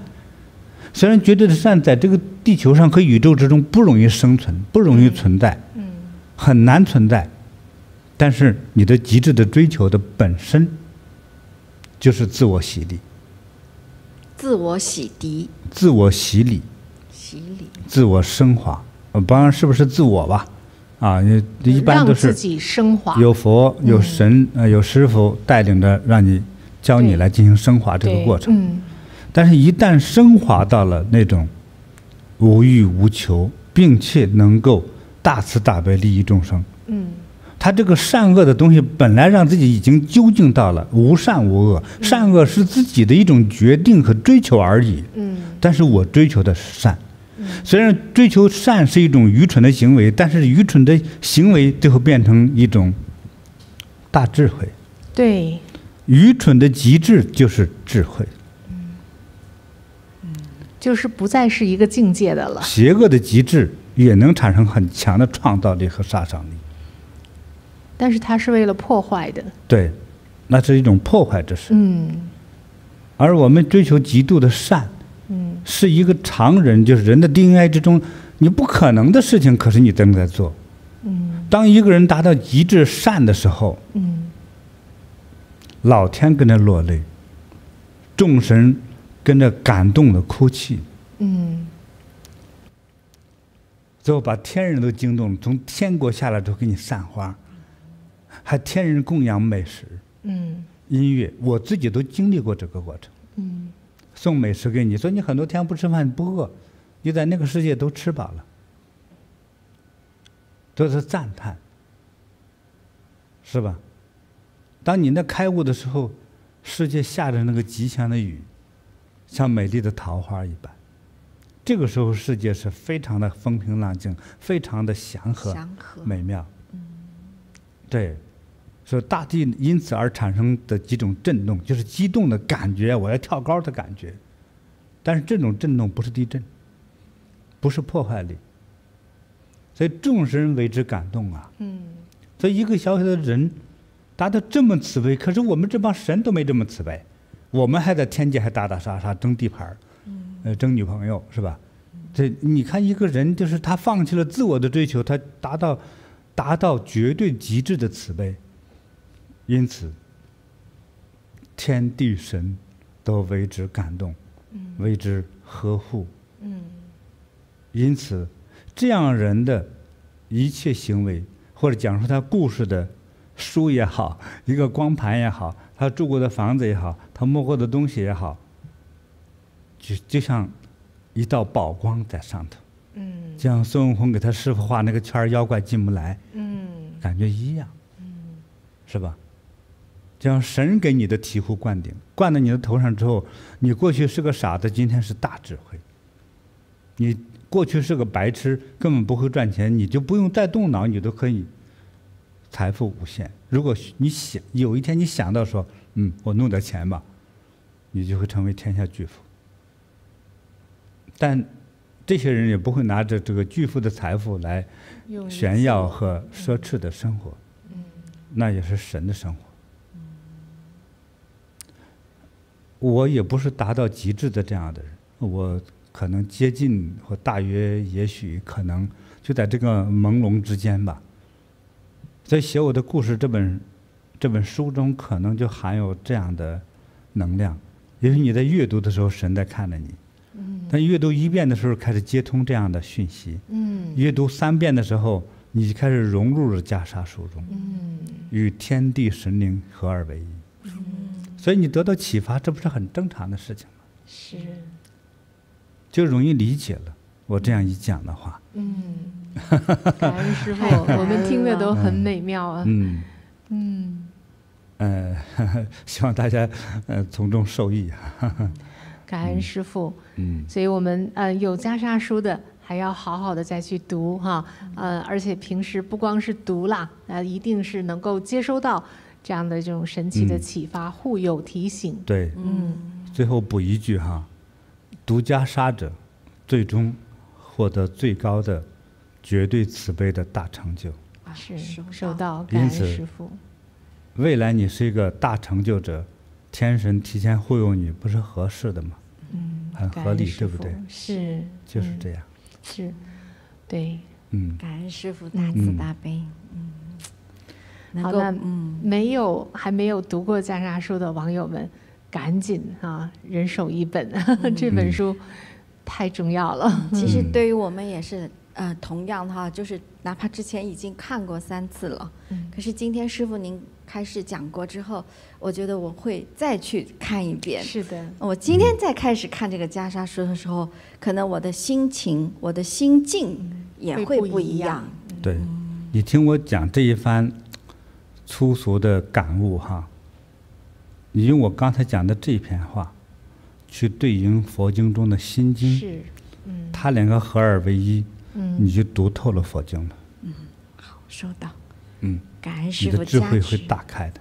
收到，收到。感恩师傅加持。嗯，小雀跃，现在觉得自己很 雀跃啊，这种感觉。嗯，揭秘了这样的一个神奇的书。所以感恩师傅也在这个新春到来之际送给我们这么好的一个礼物啊！这个礼物不轻，真的是大智慧的加持。感恩师傅的加持。还有礼物呢哎，还有，对对对，还有好消息也跟所有的网友们来来分享。啊！我们呃华人呢，其实都是有这样的一个习俗哈，大年初一呢要去上头香。也就是在神佛面前去表达我们的这样的一种真诚，然后也祈福啊，让自己呀、家庭啊、啊整个的这个集体呀、国家呀都能够非常好、平平安安、顺顺利利的来迎接新年啊。那今年呢，兔年哈即将到来的时候，呃，我们在菩提禅修学院网站上已经开通了一个项目，就是二零二零二三大年上头香。那么这个项目呢，是呃给大家这样来做一个简单的介绍哈。对，因为往年其实我们都是可以到我们禅堂去上头香的，对禅堂或者是对寺庙呀什么的。嗯。那今年因为也是世界各地疫情严重，尤其是有一些地区是非常非常的严重的。对对对。啊，那我们为了方便所有的网友、所有的菩提同修啊，那我们在呃给大家一个机会，那么。呃，师傅将在二零二三年大年初一的一大早啊，就来主持这个上头香的一个仪式。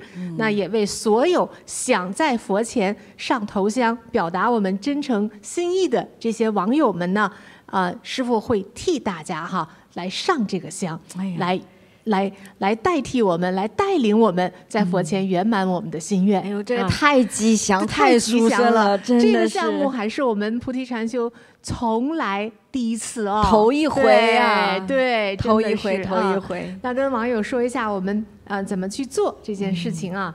我们到菩提禅修学院的网站，嗯，在这个网站，你看上边呃这个黄色的这个标签的地方。求签祈福呢？你点开呢，第一个就是二零二三大年上头香，看到啊？好，那点选进去，就到了这个上头香的这个页面啊。好，那么嗯，上面是这个介绍，我跟大家讲了啊。那么这个项目它的这个截止的时间呢是，嗯，反正就是兔年一到来，我们这个项目。就截止了，因为兔年的这个大年初一早上，师傅就带就给大家去实现这个心愿了。对，就要圆满了，就要圆满这个心愿了。所以呢，这个项目截止的时间是亚洲台北时间大年初一零点，哈，北美温哥华时间大年三十的早上八点。所以大家不要等啊啊，赶紧啊，要在佛前表达心愿，完成这个项目哈。好了，那么我们这些头香有四个。种类啊，来供大家选择。我们看一看，嗯，一个是出入平安头香，一个是出入平安，顾名思义啊，啊，保我们的这个出入的平安吉祥啊，顺遂。那第二个呢，叫随顺心意头香，哇，这个就已经非常的啊，有点吉祥了。对你就是心想心想事成了，对。啊，对孩子的学业来讲啊，对我们中年人的事业来讲啊，婚姻啊，幸福啊，啊，家庭啊，家宅呀，哎，方方面面哈，对老人的健康长寿啊，只要你想的这些美好的愿望，那么都可以随顺心意啊。那还有一个呢，叫事业兴旺，家宅鼎盛，鼎盛投香，哇，这个厉害了哈。这个看着就是带财而来的，家宅事业兴旺的话，那么就财源滚滚呐；家宅鼎盛的话，就香火相传呐。啊，我们的不仅就是这一辈人，我们创立了这个好的基业啊，财源滚滚，而且还能够传承下去，还子孙延绵，还很鼎盛，还人才辈出，你这一家族都是非常的吉祥顺利的哈。哇，这个护佑太棒了。那最高一等的叫无量功德药师佛护佑头香，所有学佛的网友那都知道这个太重要了哈。嗯，对你的这个真诚的上了一支香啊，获得无量的功德，还获得药师佛的护佑，那真是消灾延寿、遇难成祥。啊，健康快乐，学业有成，方方面面吧，哈，所有的愿望都能实现。嗯，对，都就是都被护佑到了，被护佑到。对对对，那这个新的一年中是多么的平安吉祥啊！所以我们网友呢，可以按照自己的需求，也按照自己的这个经济的能力呢，来选择你不同的头像的这个项目。那我们填写的时候呢，非常的简单啊，我们做供灯的所有的网友们都了解的。在你这个嗯选择这个呃祈福种类里边呢，你就去选不同的头香的种类哈，然后呢，你就写上受祈福人的姓名。那么出入平安的头香呢，啊，这个是一个非常亲民的头香。嗯。那么呢，就是一个人，比如说觉真。啊，或者是物理，就不要写觉真物理两个人就不要去分这一份功德了啊。那么呢，啊，比如说觉真，我多想做几份，我可以做十份呢，啊，可以做八份呢，这样子啊，这样是很好的。那其他的像随顺心意啊、事业兴旺、家宅鼎盛啊，还有无量功德的这些头像呢，我们可以写合家啊，对，这样让一个家族哈，一一家人都共沾喜气。一块儿获得这样的一种吉祥的护佑，这个是嗯非常容易做的。那么我们大年初一的上午十点钟啊，台北时间的上午十点钟，我们有一场直播，那么就会把一大早起来师傅啊来在佛前哈替大家带大家上头香的这个视频呢，也播给大家来看啊。所以我们听到这个好消息，一定要在。佛前上头香啊。啊，一定要赶上那个吉时啊！对，可能有的有的人还想，哎，这个上头香到底有什么意义？就是刚才师傅讲的，师傅讲袈裟的时候，其实讲了很多。当你的这个真诚哈啊，用真诚去传达你心意的时候，神佛菩萨就接到了，那么就能够去满足你的心愿。我们刚才听到那么多袈裟里边的神奇故事，物理师姐也说了一个关键的钥匙就是真诚心。对，那么我们每个人都有所求，对，每个人都有所求，对，那我们就可以有的时候人事做不到的时候，我们求佛菩萨帮忙，我们就可以用我们真诚的之心去沟通佛菩萨吉祥护佑的能量。那用一支香来体现我们的心意，随着这个香的往上去飘呢。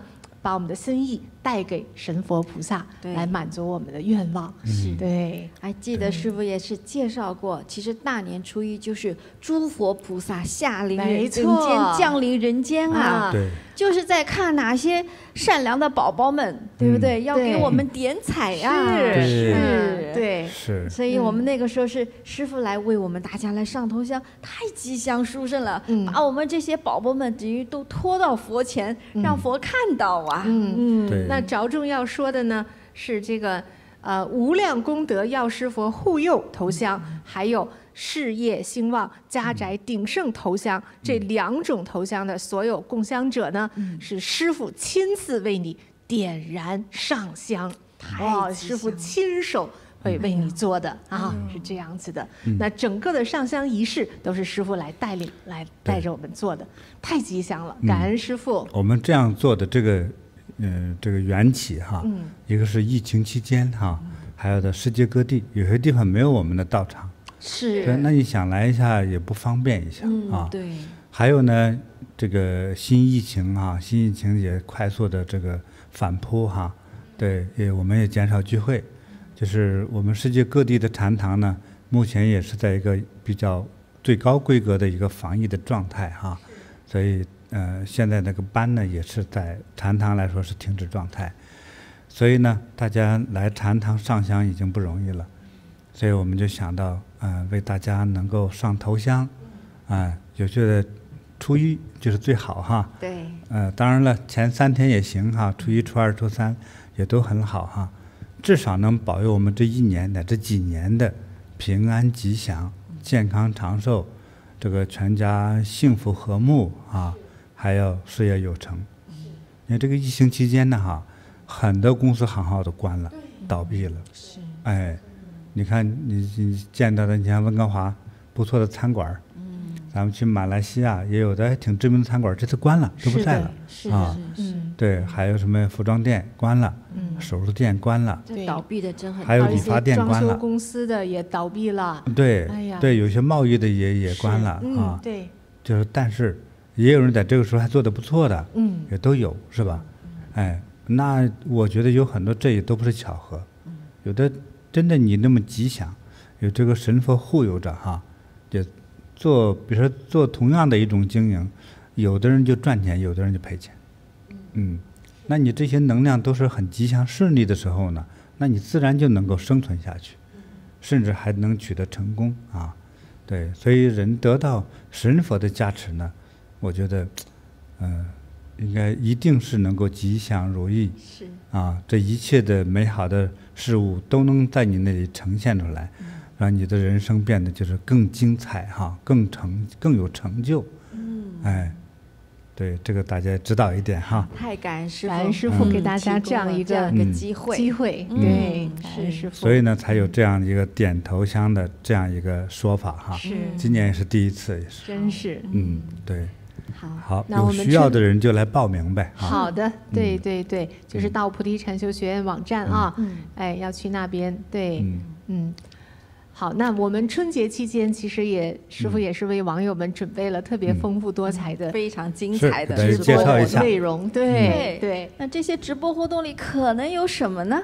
给网友们大概透个底儿哈，就是其实就是我们网友最希望每年开春，就是开年之初啦，能够得到师傅的一个指点。指点对，哪怕幸运的呢，那希望好上加好，对不对？哎，真的，如果我们这一年。真的是如果我们的命运命相之中可能会有一些障碍发生的时候，也希望师傅来给我们化解，嗯，要改运，对，那这个通过什么样一个方式指点呢？那就是网友们最喜欢的，祈请师傅来帮我们来看看相，哇，来。师傅给网友看相啊，对，师傅是一个人一个人看呢。我们去年就那么看相，可每个人脸不一样，你不能一个群体看，说你们这些人类 是吧？你只能一个一个的看。每人自己的命运自己写在自己的脸上，对吧？嗯，就是这样。但是大家不一定想让看。哎呦，这个太受欢迎了，太爱看了这个。但是我要看就是公开说的哈。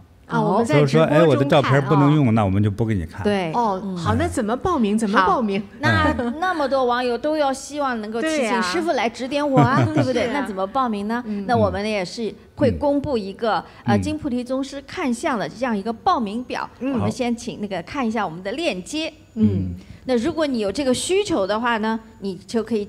进这个报名表来提交你的问题哈，那其实这个问题其实我们也是讲过，你看相的话要有事儿来问啊，你比如不能泛泛而谈，我长得怎么样那没意思，你一定要就是有想请师傅指点哪一个方面的问题，你再来问啊。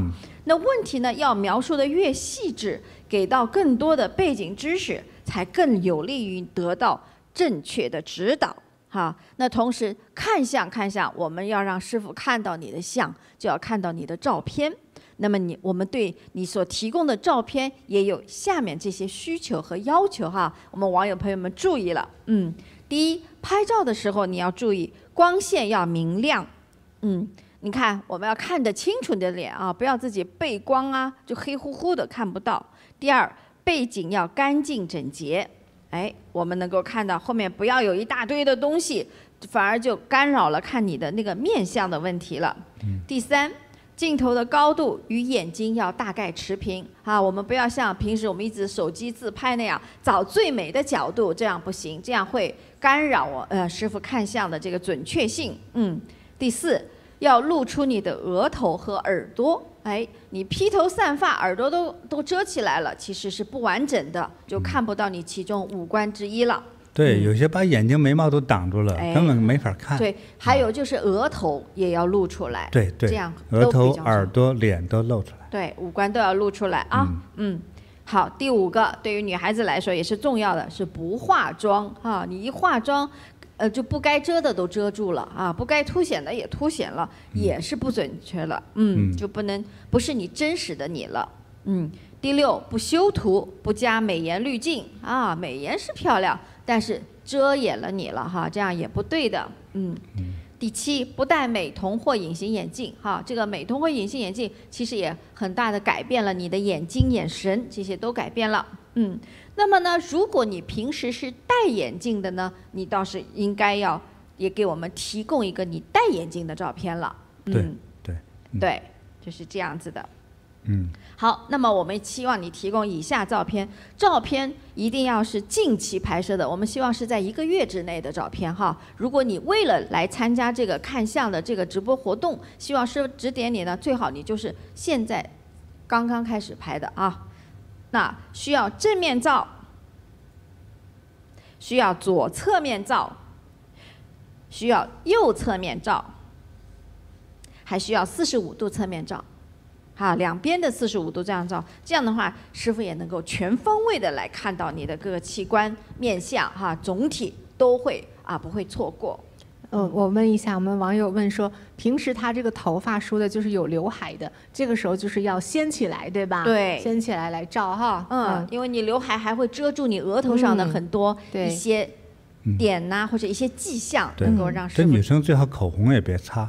哦，不擦口红。因为你自然的唇色，还有擦了口红之后，就原来那个嘴唇的样子，可能因为多抹和少抹。就改变唇形了，对他的命相与这些都有关系。对，一定要素颜啦，就全部是素颜的哈。对对，嗯对。啊，原那老那个耳环也不戴是吧？哎，不要戴。嗯嗯，对，耳环有挺大的，就我看不见你的耳垂都。嗯，是是是，对，好好。那么你在填这个表里面，我们一定会问你想求哪方面的问题，那你就要写出来。那写了目的之后呢，你要尽量的详细的阐述你的这个问题和它有关系的一些背景信息啊。你比方说你要。求什么的？呃，那个求学业的话，你要告诉我们你现在的学习情况是怎么样哈？然后呢，你心里想的是未来想去考哪个方面的学校或者是专业？就是你要提供一些你的这个背景信息的，好，嗯，那越详细呢，其实越容易来给你做指导，嗯嗯，对，好。那有的时候呢，我们也是有些同学就是会比较的渴望立刻得到一些答案吧，所以其实很多的一个辅助的方法就是去抽我们的药师灵签，或者是用金菩提六十宗师的六十四卦。我们先来求一卦，同样的就是你想请师傅帮你看相，解答哪一个问题，你就这一个问题去抽一个药师灵签，或者是抽一个。啊，六十四签的那个卦，那么到时候呢，这个签和卦的卦象和卦呃签文，也请你在这个备注里面，就是也发给我们。就比方说，哎呀，我是求这个升学的问题的，那么我这个问题呢，我的药师灵签求了一签，就是药师灵签，药师灵签给我的是第几签？哈，签文，那我们自己会找到签文，你可以不用写，但是一定要告诉我们是药师灵签的第几签。或者你说我用的是那个什么呃六十四卦的，我是抽的是哪一卦卦的那个？因为这个卦文都比较的简单，都是四五个字的哈，你可以把卦文直接就告诉我们。那这样的话呢，也可以辅助一下。但是这个抽签和这个求卦它不是必须的哈，不是必须的。如果你愿意，可以做一个做辅助作用。嗯，那我们在这个抽签和之前和求卦之前，还是有个提醒哈，你这个这就是求签的前三天要吃素，要保持清净，然后呢注意言行，要不恶语、不骂人、不酗酒哈。那你求签之前还是要沐浴更衣。那如果身旁有佛像、有师傅的法照，应该先礼佛哈，在师傅像前也要礼佛，嗯，在佛前要恭敬的祈请自己的问题，再进行抽签。这一点我特别要提醒的是什么呢？是一签问一事啊，求签的时候才会有一个明确的问题。比方说，我求这个叫什么？我想问师傅的就是关于升学的问题，那我就这个升学的这一个问题去求一签，你不要求上好多签。第一签自己求出来一看是个下签，不满意，我换一个签行吗？不合适啊！你应该如实的告诉师傅，你关于想问的这个问题。药师佛灵签给你的是哪一个啊？哪一个答案？或者是六十四卦告诉你的是一个什么卦文？要如实实事求是的哈，这个才会真正的帮助得到你。另外呢，就是面相中我们都知道是不不很难很难有完美的面相的，所以呢，就是为了帮助大家真实的帮你解决问题，刚才觉真世界讲，帮你能够改变哈，来改运。转运的话，那么其实看相中无论呈现的这些信息好和坏，是否都会如实的来告诉你啊？所以我们一定还是要非常的真诚的，好，不是说一定要说你顺心，你你听好听的话，你才会觉得开心，哎，这个就不是一个啊一个正确的一个心态，嗯。那么这是整个这个看相报名表，还有一个前提，一定要请大家。注意的就是，如果你想请金菩提宗师为你来看相啊，为你来解答问题的话，你的这个照片是必须可以公开的啊，因为我们选中你其实是希望跟广大的网友一起来分享的，来讲这些啊。那么如果你不便的话呢，那我们就建议你不要用这种方式来请师傅看相了，以后再找机会哈，你可以提问题，你看看师傅能不能帮你。嗯嗯，那觉真呃，那个物理师姐这边还有一些问题嘛哈？她问说，哎，觉真师姐要问一下，那个嗯，小孩子可以看吗？还是说有几岁年龄以上的可以可以看相？我我觉得那个年龄哈，最好过了六七岁，哦，因为那个小宝宝哈，嗯，他的变化比较大，通常脸上的虚的肉比较多，虚胖。啊，对，婴儿肥，婴儿肥。就是看相看相看的是什么呢？看的是叫骨相，骨相，骨头相。我们比如说，比如说哈，颧骨高的人，是因为里头的颧骨的骨头高，嗯，还有高颧骨呢，长的方向不一样，有的就在眼角下头，是吧？有的一直挪到腮帮子这儿来哈，是他那个颧骨的骨头长的那个高度的位置不一样。嗯，哎，那这个在我们在外向上看那个颧骨高度和长的位置呢，是里面的骨头。嗯，哎，你额头鼓不鼓，对不对？立不立起来，是里头那个头颅骨的骨头。嗯，是这样的，是这个骨相来着。嗯，哎，那所以呢，这个特别小的儿童呢，他这些骨头还没有基本的发育。嗯，完完全，所以我们会发现哈，很多小孩小宝宝等到了二十来岁之后呢，你发现变样了，他就没小时候那么可爱了，大眼睛变小眼睛，白皮肤变黑皮肤。很多童星长着长着长大了，真的变化长得最后变得不怎么样啊。对，就是这样子。他所以他特别小的时候这个年龄哈，他那个相还没有真正发育完善，他还在变。是他变化比较大，那我们你不能乱说呀，啊，所以我看相对谁都不讨好，我看见他要说啥，因为是我有自己的道德标准，嗯，这你不能想骗人呢，说真话，我们只能要直言相告，要看到的，当然谁都想听好话哈，你说尤其是给自己孩子看个相，就是说这里不太完美哈，那完了之后，一般的心中是不愉快的，啊，但是呢，我们。你让我看的话，那你让我说全就是给你拍马屁，那还有干嘛？我们设这个项目呢？嗯，那你其实你心中肯定不是这么想的，但是说到有一些确实不太吉祥、不太好的时候呢，你应该学着去预防的。我们怎么能改变接下来会发生的这个事实？对，有时候看得准的时候，就可能哎，明年你遇到一个灾，是提前已经看到了。你应该学要学着说，要请问我怎么化解？而不要说，就是八月份撞死，但是你提前一天都不要告诉我，哈哈，不要告诉我，就让我死去好了，啊，对不对？那你到底要哪一个呢？我们是要化解灾难嘛？嗯，对，感恩师傅，嗯，对，都还是一番慈悲的提醒，绝对是啊，所以我不告诉你，这才叫骗你。嗯，但有些人真的是就是为了糊口，图你高兴哈，就是说他就只说你好的。是是吧？是，他对各种年龄层的人都有一套，像唱喜歌一样赞美你的词。为了取悦他，取悦于你之后，那可以你就收到很多看相的钱嘛。啊，这样所谓看相的这个人就会得了很多不义之财。那我们不是为客户看相，我们还是为我们的网友哎直言相告。我对谁看相，我都会直言相告。主要是化解。你要怕我说你的灾难，别找我看。化解灾难和谁请我看，我有心看的时候我就看，但是我会告诉你。嗯。但是我也确实想取悦过人，有确实想取悦过。呃，这个人身份太特殊，完了之后呢，他又有很高的身份。完了之后，他特别害怕你说他有不好的东西。这个时候就这种感觉压迫的我就会，我不说吧憋得慌，说吧这个词找不到恰当的词，点到为止。我就是说话比较忙碌啊，那个大概可能就挺好的 哈，这样我就不说实质的话了。那他也听不懂呀，得不到但是懂我的人呢，就知道，哎呀卡住了，是卡住是，我们没办法说这个真实的问题。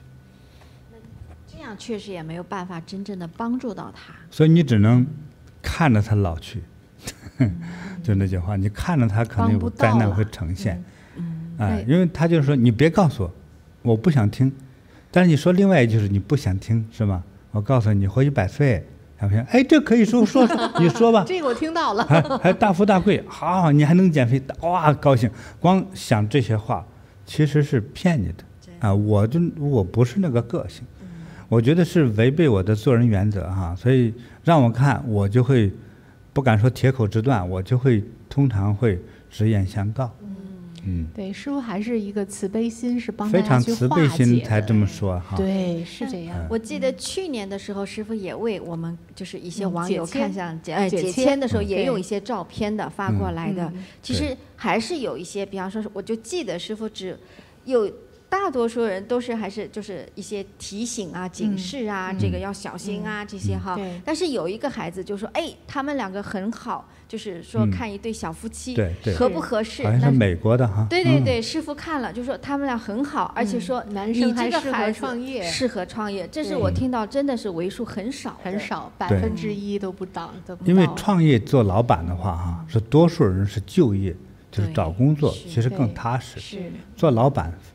风险高啊，对吧？风险高，还有他个人，他不具备这个命啊，真的是命运。对，其实没算过账哈。那么，比如说你做老板，你开个小餐馆吧，在今天的就是中等以上的城市的话，通常都要花到百万和几百万。嗯，不管你什么币哈，比如说中国呀，还有美国美金呐，加拿大的加币呀，啊，新加坡的新币哈，你开个小餐馆，你没看到花钱。就是最少是百万和几百万，嗯，这还没有运营呢，很难挣回来哟。而且还很难拿到政府对你的批示的执照。是，他因为餐馆嘛，注重这个卫生安全啊，要求非常高。是的。呃，一般在那个县城里开餐馆的，你就不能进大城市开，它的卫生标准你过不了这关的。嗯。但是，就算过不了关，你都花了几百万。是。你如果不会运营呢？嗯，接下来人工啊等等的费用一大堆又花进去啊，所以不容易。真要能够做自己经营创业的话，其实也是个危险的道。是，但是多数人还属于叫就业型，而不适合创业。所以就是师傅，如果是说适合哪一类的，我们就听师傅的话，哎，这样是最保险安全的。但是如果师傅说，哎，你可以有这个机会去尝试一下，那我们就应该去拼一拼，搏一搏。嗯嗯，也别，反正要考虑哈，自己掂量自己的心脏怎么样哈。是是是。对，有时候做事儿一个，就算换一份工作本身，通常给一般的心理素质的人哈，就带来很大的刺激，乃至是创伤。嗯，都是这样的。好，我们刚才讲了这个看相的这个好消息，我们屏幕上再显示一下刚才的那个报名表啊，网友来对网友要拍照一下。啊，我们咔嚓下来哈，哎，对对对，呃，这个这个屏截屏截下来，然后我们再去填写。对你点进去之后，刚才物理师姐介绍的那一些注意事项上边也是有的，我们好好的阅读，好好的填写，提供正确的照片。提供啊比较详细的信息啊，方便师傅来帮你来啊。消灾灭难啊，对，那 指明方向啊，改运开运呐，新年呐，新春开运哈，新春开运，那真的是大吉祥啊。嗯，对，完了之后春节期间咱们哪几天直播告诉大家？好呀，好啊。那 下一场直播就是我们的呃亚洲台北的时间哈。是除夕那一天，也就是阳历一月二十就三十晚上嘛。年三十，年三十，对对对，嗯，也是阳历一月二十一号周六的晚上七点钟啊，跟今天的同一时间。嗯，那下一场呢，就是大年初一哈，第二天，第二天的上午十点啊，那天师傅很辛苦的，一早上一大早先去上头香，嗯，然后我们又赶一场直播啊，对，接下来初二、初三。也都是亚洲台北时间的晚上七点。啊，连续四场。时间，对，连续四场，我们跟着师傅一起过年啊！对，我们的网友也把这个屏幕拿手机拍一下啊，来去传播给你的亲朋好友，一起来新年看直播。尤其是师傅会有啊，给大家看面相哈，解难开运啊这样的一个好的事情，哇，这个真是不容错过呀！好看。好像师傅刚才还有讲嘛，还要还要发大奖哎，还有普洱茶，还有其他好东西哦，好多大奖！你看今天又送了大宝瓶，哎呀，真的是送的太好了。很多好东西我都想送给我们的网友。对，今天才刚过了小年儿，就过大年的时候，这奖品更大哟。还有大奖，还有手机。哇，还有手气！我的对呀，我的佛呀，欢天喜地呀！是因为我们。热心的网友哈，又是点赞，还有打赏哈。嗯。哎呀，他头几次打赏打的我脚都发软哈，我觉得没见过这个东西。今天还继续哦。嗯，这大家的表示心意哈，真是非常感谢。因为大家很受益于师傅的直播，感恩师傅。嗯嗯，谢谢谢谢。嗯。哎。好的。那这个嗯，我要说啥来着？嗯。我还有一件事我给忘了哈，嗯，忘了就算了，就是该忘。我们等着那个过年的时候，反正这几场直播，我们连续都会跟网友见面的。对，连续性的嘛。对。我们很多月聊天的时间哈。哎，对。对，我刚才想起来了哈，我们春节这个直播的时间表呢，做一个表格放到那个 Facebook 上也会发出去，就是让大家直白的看到我们这几天的具体时间啊。对，嗯，所以我们。有很多内容要讲啊，应该是可能你会喜欢哈，那个你会喜欢，呃，因为我我说话都是很直白的啊，没必要拐弯，也不奉承哈，对，还有很多我知道的一些知识会告诉大家，嗯。嗯。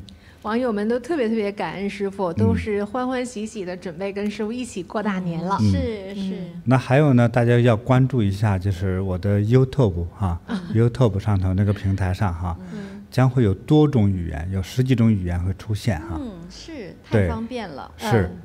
那么还有一个呢，就是，嗯，就这一两天。我会贴出一个，又是一个超短的视频哈，当中可能对于啊，对于新时期的感冒哈，感冒和防疫的那个小偏方哈，会比较叫叫做加强型偏方哈，它的效果会更好的偏方即将推出来。及时雨啊，真的是很需要现在当下。对，如果有可能，可能今晚上和明天就会推出来了哈，请大家关注哈。嗯，好的。嗯嗯。好，那我们今天给大家讲的差不多了。嗯，我们准备欢欢喜喜过大年。是，嗯，好，先先预祝大家哈，嗯，新春快乐，收收到，如意吉祥，收到，全家幸福，收到，出入平安，收到，身心自在，收到，健康长寿，收到。我们大年三十晚上再见，感恩师傅。